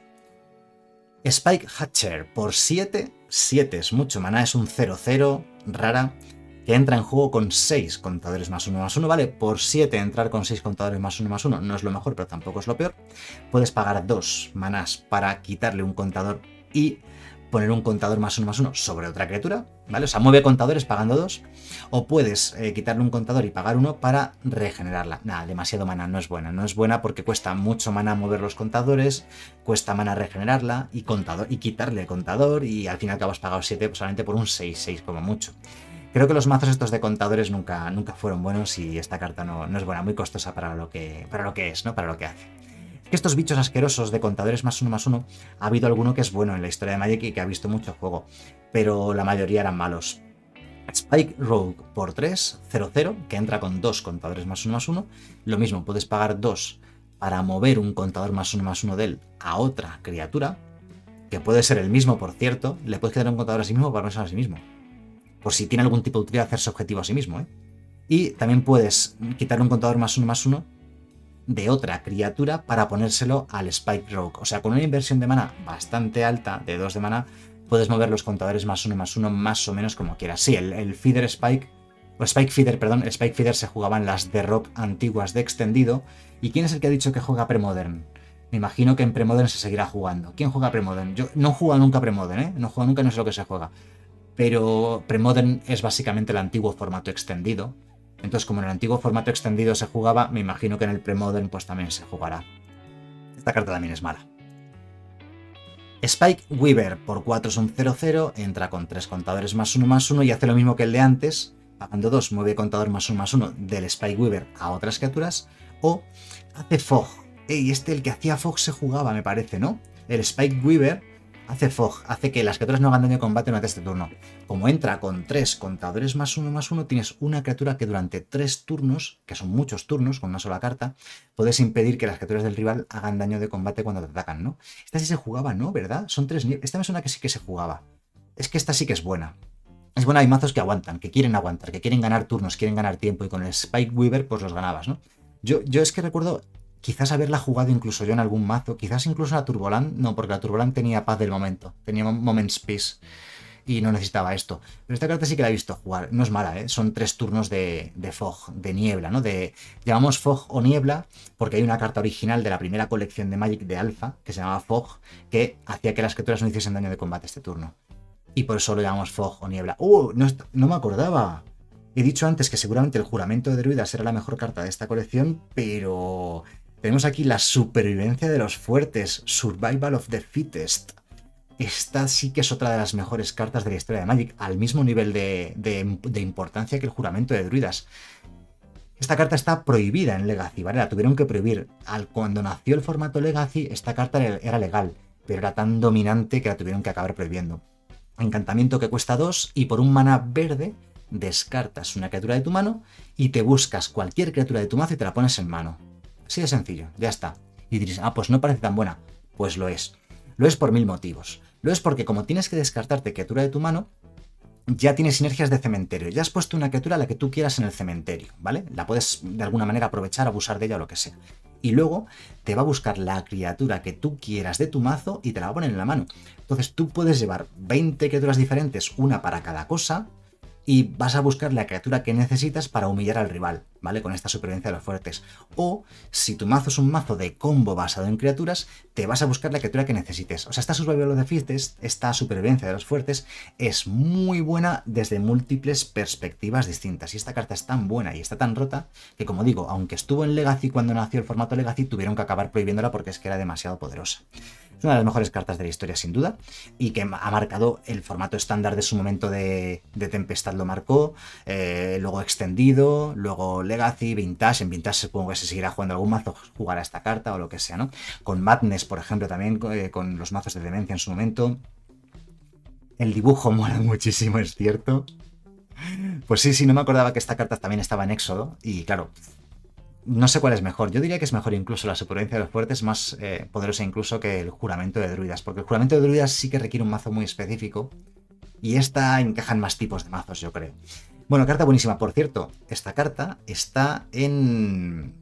¿En estándar está actualmente? No, pero estuvo en estándar el año pasado, ¿verdad? Estaba en Icoria, puede ser. En un estándar muy reciente, esta carta estaba en forma de criatura. Hay un bicho que por 2 es un 2-2 que hace lo mismo, pero tiene que girarse por tanto no se puede activar el mismo turno que lo juegas. Y cuesta dos de activar, y es un bicho, es muy fácil que te lo maten, ¿no? ¿Cómo se llama el bicho que hace supervivencia de los fuertes? Es un, es un elfo.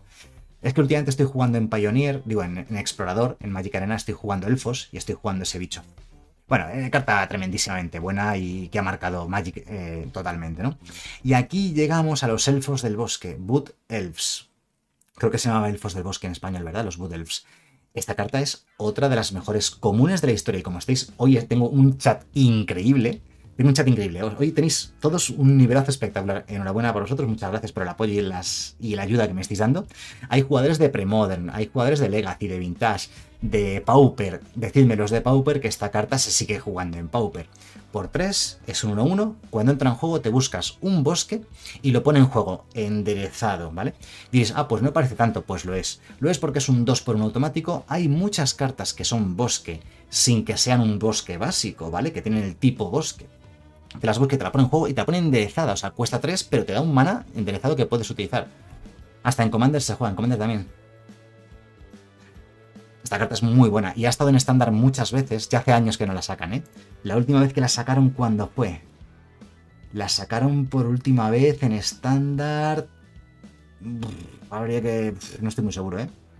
En Gateway puede ser, ¿no? Creo que en Gateway fue la última vez que la sacaron en estándar. Y bueno, es una carta muy buena. O sea, esa ventaja de cartas pura es un 2x1, es un bichito y además una tierra enderezada bosque. Eh, mucho mejor de lo que puede parecer a primera vista. Quizás en los primeros años esta carta fue un poco infravalorada hasta que se comprendió o hasta que se pudo aprovechar al máximo. Pero es una de las mejores comunes de la historia del juego, ¿no? la pondría muy, muy top. De las mejores cartas de rampeo de la historia, eso seguro. Y en estándar siempre lo ha petado bastante. Bueno, aquí llegamos al Coat of Arms. Eh, ¿Cómo se llama esta carta en español? El escudo de armas. El escudo de armas, ¿no? ¿Se llama escudo de armas? Coat of Arms, no estoy seguro, confirmando en el chat. Escudo de armas, vale, sí, correcto, lo he dicho bien. Bueno, pues el escudo de armas, el Coat of Arms, esta carta no es que haya sido nunca especialmente buena, aunque sí que ha visto algo de juego en mazos tribales, trasgos, elfos, el mazo tribal que sea de turno pero sobre todo ha sido una carta, de, la carta de los niños, la carta por excelencia de los jugadores casuales también, ¿vale? Una carta súper querida y súper amada y, súper valorada desde el punto de vista de alguien que empieza, un jugador novato en Magic, los niños la adoran esta carta, los jugadores casuales también, en entornos casuales es muy buena, por 5 es un artefacto un poquito caro, pero cada criatura gana más uno más uno por cada otra criatura en juego que comparta un tipo de criatura con ella. Entonces aquí te lo aclaran porque es un poquito lioso. Dice, por ejemplo, si hay, eh, si hay tres trasgos en juego, cada uno de ellos gana más dos más dos, porque hay otros dos trasgos en juego. Entonces en mazos de elfos, de trasgos, de cualquier cosa tribal, está escudo de armas con metas 4, 5, 6 bichos en mesa, con, por ejemplo con slivers también, ¿no? Con fragmentados también se jugaba Coat of Arms. He visto el Coat of Arms en muchos mazos tribales. Y nunca ha sido una carta espectacularmente buena, pero estos mazos de tribales podían llevar alguna copia de Coat of Arms. Pero era más, era más una carta. Por cierto, hemos sacado el color verde, me acabo de dar cuenta. Hemos pasado los artefactos. Es que he visto el escudo de armas y ya me he olvidado de que acabamos de terminar aquí. El amigo de los niños. Cinco manas es mucho, efectivamente. Por eso es una carta que va mucho mejor en entornos casuales. Vale, en, entornos competitivos es mucho más difícil de jugar. He visto ganar partidas competitivas con esto, ¿eh? en mazos de elfos y en mazos de trasgos. hablo de hace 20 años o, por ahí, ¿vale? O 25 años. Siguiente carta, Erratic Portal. Por 4, artefacto, puedes pagar uno, girarlo, devolver una criatura a la mano de su propietario a menos que su controlador pague uno. Idris, vale, vas a pagar 4 y pagar otro más para girarlo para que el rival se suba una criatura a la mano a menos que pague uno, porque si paga uno no se la sube. Pues no es para eso, es para tus criaturas. Te subes una criatura a la mano y la vuelves a jugar. Esta carta vio algo de juego y sobre todo con criaturas con habilidades de entrar en juego. Te la vuelves a la mano, la vuelves a jugar y si vuelves a disparar su habilidad. No es mala del todo. E incluso si pillas al rival con todas sus tierras giradas, puedes forzarle a devolverse una criatura a su mano, ¿vale? No es mala del todo esta carta y como digo, algunos mazos, algunas sinergias, pues ha, ha llegado a ver, me gusta bastante. Creo que había una carta igual que esta, que salió años después, en Mirrodin, pero costaba un maná azul activarla. Y costaba tres manás jugarla. Que no vio juego en, su momento, pero esta en, en Éxodo sí que vio algo de juego. Medicine Bag. Por 3, artefacto, pagas uno, lo giras, descartas una carta de tu mano y regenera la criatura objetivo. Esta carta es terrible, ¿vale? O sea, es decir, pagas 3 de maná por un artefacto que lo juegas y no hace nada. Y luego tienes que pagar uno girarlo y descartar una carta de tu mano para regenerar un bicho. O sea, es un coste gigante, tanto en maná como en descarte de una carta. O sea, malísima, terriblemente mala. Vale, siguiente carta. No había clicado. ¿Qué ha pasado aquí? No me digas esto. Eh, no tengo internet. No tenemos internet. Se ha caído la página, ¿eh? Se ha caído la página que estoy utilizando. Se acabó el directo. Se acabó el directo. Buenas noches, querido, bienvenido. No es broma, no se, acabó, el directo, tranquilo, no os pongáis nerviosos. Yo me he puesto nervioso. No va, ¿eh? No va la página. Bueno, hay mil páginas. Hay, hay, otras páginas que tienen también esta colección, ¿eh? No os preocupéis porque ya, ya buscaremos ya buscaremos una solución. Si vamos a Éxodo, estamos en el Medicine Bag. Bueno, vamos a hacer otra manera, ya está, no, hay problema, tranquilos. Esto tiene solución. Esto puede tener solución. Se ha caído la página, ¿eh? Se ha caído totalmente. Buscamos otra página que haga lo mismo y ya está. El problema. Mm, all sets, a ver. ¿Qué set estamos buscando? Estamos buscando Exodus. ¿Vale? Lo vamos a poder salvar, tranquilos. Buscamos otra... ¡Uy, qué mal se ve! Qué mal tengo el croma y todo. Y ahora decía que hoy tenía problemas de iluminación y que no se iba a ver bien. Pero bueno, espero que, espero que me disculpéis porque ha habido problemas técnicos, dado que la página web que estábamos utilizando no, no, no funciona correctamente. Vale, vamos por esta carta. Vale, lo que pasa es que con esta página web no podemos avanzar hacia adelante. Ese es el problema. Es lo que no. Lo que no. Lo que no me gusta. Vamos a ver si acaba de cargar esto. Vale, yo diría que ahora ya sí que funciona otra vez, ¿eh? Yo diría que ahora ya funciona esto otra vez. A ver. Vale, ya está, arreglado. Ha sido, ha sido un momento de pánico que ha durado unos poquitos segundos que no funcionaba la página web. Ahora ya todo arreglado de nuevo, volvemos a la normalidad. Memory Crystal, por 3, artefacto, todos los costes de buyback. Hemos visto muchas cartas muy buenas, algunas de ellas con buyback. Reducen su coste en 2, ¿vale? Esta carta es buena y algunos mazos con habilidades de buyback pues jugaban Memory Crystal. Sobre todo con el... ¿Cómo se llamaba? El hechizo azul, el que devolvía un permanente a la mano. No me, acuerdo del nombre de la carta que vimos en su momento eh, hace un par de semanas o tres semanas en Tempestad era el, decímelo, el no me acuerdo cómo se llama, había un boomerang de coste 3 que tenía buyback 3 en Tempest, que se ha jugado muchísimo durante muchos años, además en muchos formatos. Yo seguramente algo todavía había jugado. Capsize, muchas veces, efectivamente. El Capsize, invertir en español puede que se llamase. Bueno, pues este Memory Crystal ha sido algo bueno y alguna vez se ha jugado en mazos que tuviesen habilidades de buyback, reduciendo el coste en 2. Pensad que cuantos más Memory Crystal acumulas, más baja el coste de buyback. Siguiente carta, Mindless Automaton. Por 4 es un 0-0, pero que entra con 2 contadores más 1 más 1, por tanto siendo un 2-2. Puedes pagar 1 y descartar una carta de tu mano, que es un coste ya bastante caro, para ponerle un contador más 1 más 1, y sería solamente un 3-3, seguiría siendo muy malo. o puedes quitarle dos contadores más uno más uno para robar una carta, como veis. Es malo, por, lo mires por donde lo mires. Por 4 solo son 2-2. Es muy caro ponerle contadores y quitarle contadores, tienes que quitarle muchos contadores para que te dé algo de vuelta, ¿no? Entonces es una carta bastante mala. Es rara, una de las raras malas que no querías abrirte. Nullbruch.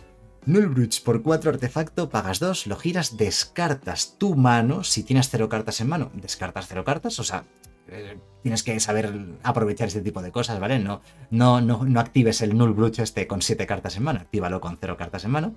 Contrarresta un hechizo que no sea de criatura objetivo. Activa esta habilidad solamente como una interrupción, o sea, a velocidad instantánea. Las interrupciones ya no existen, son instantáneas todas, ¿no? Eh, eh, con esta carta hubo expectación y al final nada. Yo no recuerdo ni la expectación de esta carta, la verdad. Todas las cartas que hacen counters de forma sistemática todos los turnos siempre llaman mucho la atención, pero es que en esta colección teníamos el forbid, el prohibir, el, counter con buyback, que era mucho mejor que esto. Y esto es solamente para hechizos que no sean de criatura, tienes que descartar tu mano, por tanto ya estás obligado a no tener mano de alguna manera. Más complicada esta carta, era bastante peor, sí.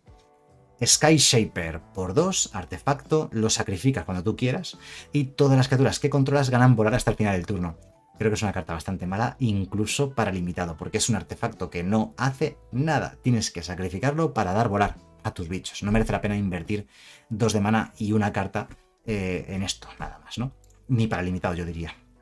Spellbook, libro de hechizos. Por cero, artefacto, eh, te saltas tu paso de descarte. Eh, al final de cada turno, lo último que ocurre en un turno de Magic es que el juego chequea, comprueba el número de cartas que tienes en mano. Y si tienes más de 7 cartas en mano, tienes que descartarte cartas hasta quedarte con 7. Bueno, pues con el Spellbook es como si no tuvieses tope de mano, porque te saltas tu, pase de descarte, tu paso de descarte simplemente, ¿vale? Esta es otra carta de las favoritas de los niños o de los casuals, no tiene ningún tipo de utilidad, o sea, la carta es malísima, no vale para nada. Pero, no sé, a la gente casual le gusta decir, ah, pues mira, no tengo tope de mano, puedo tener 20 cartas en mano, pero ¿y qué? ¿Qué más da?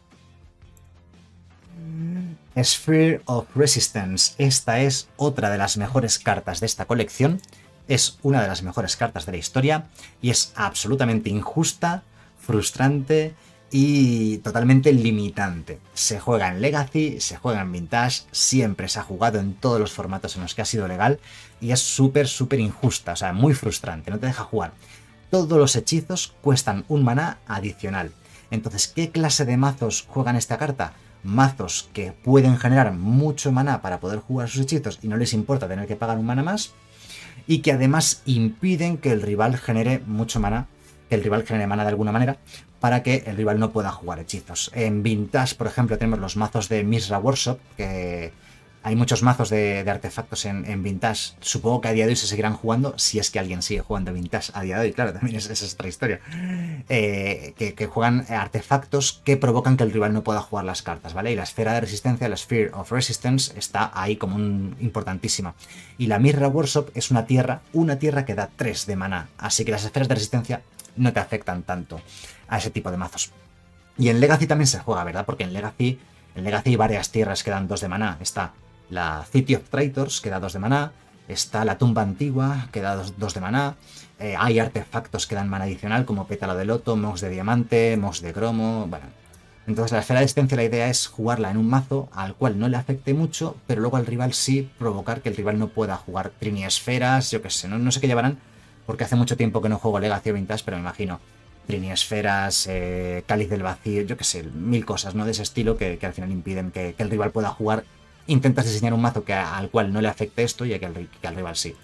Carta buenísima, de las mejores de la colección y uno de los artefactos más poderosos de la historia, aunque no lo pareciese, lo es. Top 3 Squadron. Esta recuerdo que no era buena, pero no recuerdo el texto exacto.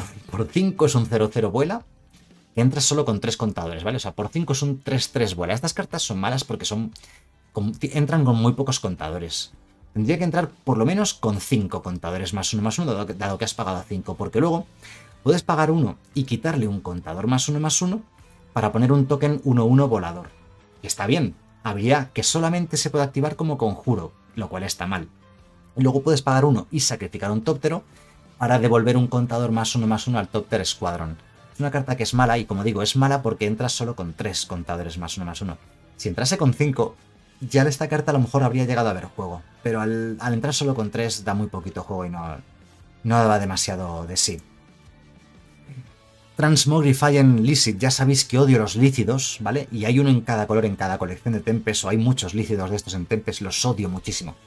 Porque todos son muy parecidos y todos son muy malos, casi todos son malos. Por 3 es un 2-2, pero lo importante es que puedes pagar uno, girarlo y convertirlo en un encantar criatura. Y a la criatura que encante le da más uno más uno y la convierte en un artefacto. Ya está. Tú puedes deshacer este efecto pagando uno en cualquier momento y el Transmogrifying Licit pasa a ser otra vez una criatura 2-2. Entonces es malísima. Tú pagas 3, esperas un turno, pagas uno, lo giras, encantas en una criatura para darle más uno más uno. O sea, es malísima, es lentísima y no hacen nada. Y así todos los lícidos. Y hay montones de lícidos en este bloque. No sé por qué había tantos lícidos.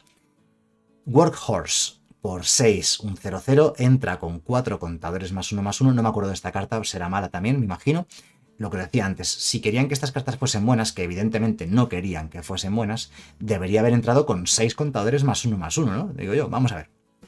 Le quitas un contador más 1 más 1 y añades un mana incoloro a tu reserva de mana. Habilidad que puedes activar a velocidad instantánea. Hoy en día no pondría mana source, pondría a velocidad instantánea, sería el texto que se pondría hoy en día.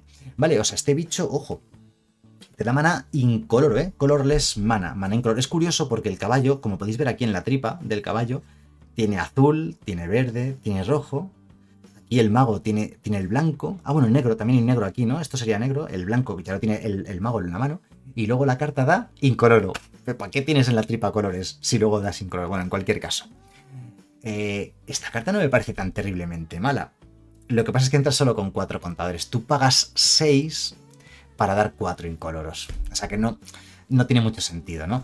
Si, si entrase con seis contadores más uno más uno, se podría utilizar como para acumular maná, ¿no?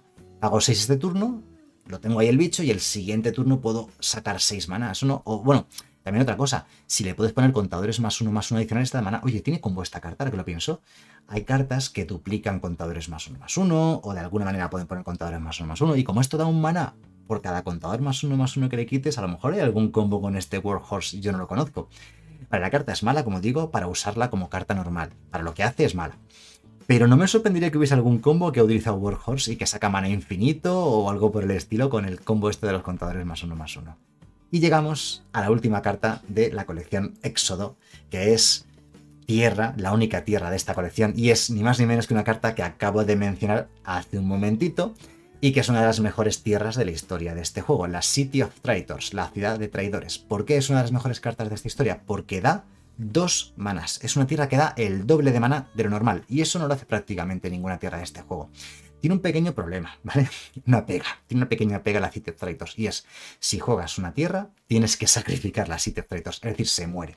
Pero vamos, la idea sería Normalmente no se solía jugar de primer turno, solía jugarse la City of Traitors de segundo turno. Entonces la jugabas de segundo turno y ya, ya tenías dos manas adicionales. Tenías tres de mana en el segundo turno como mínimo, solo de la tierra del primer turno y la tierra del segundo turno. Y en el tercer turno, si ibas a jugar otra tierra, primero girabas la City of Traitors, te daba dos de mana, jugabas la nueva tierra y se moría la City of Traitors, ¿vale? Pero ya habías sacado el mana de ella. Entonces al final la carta es brutal. Básicamente es una de las pocas tierras de la historia de este juego que da más de un maná, así de sencillo. Y la hace tremendamente buena. Está en la server list y valen 300 dólares, ¿no? La mejor. ¿La mejor carta de la colección? No sé. Lo veréis esta semana en YouTube porque haré el vídeo del top 10 mejores cartas de Éxodo. La, el juramento de druidas, eh, la supervivencia de los fuertes, la City of Traitors. Son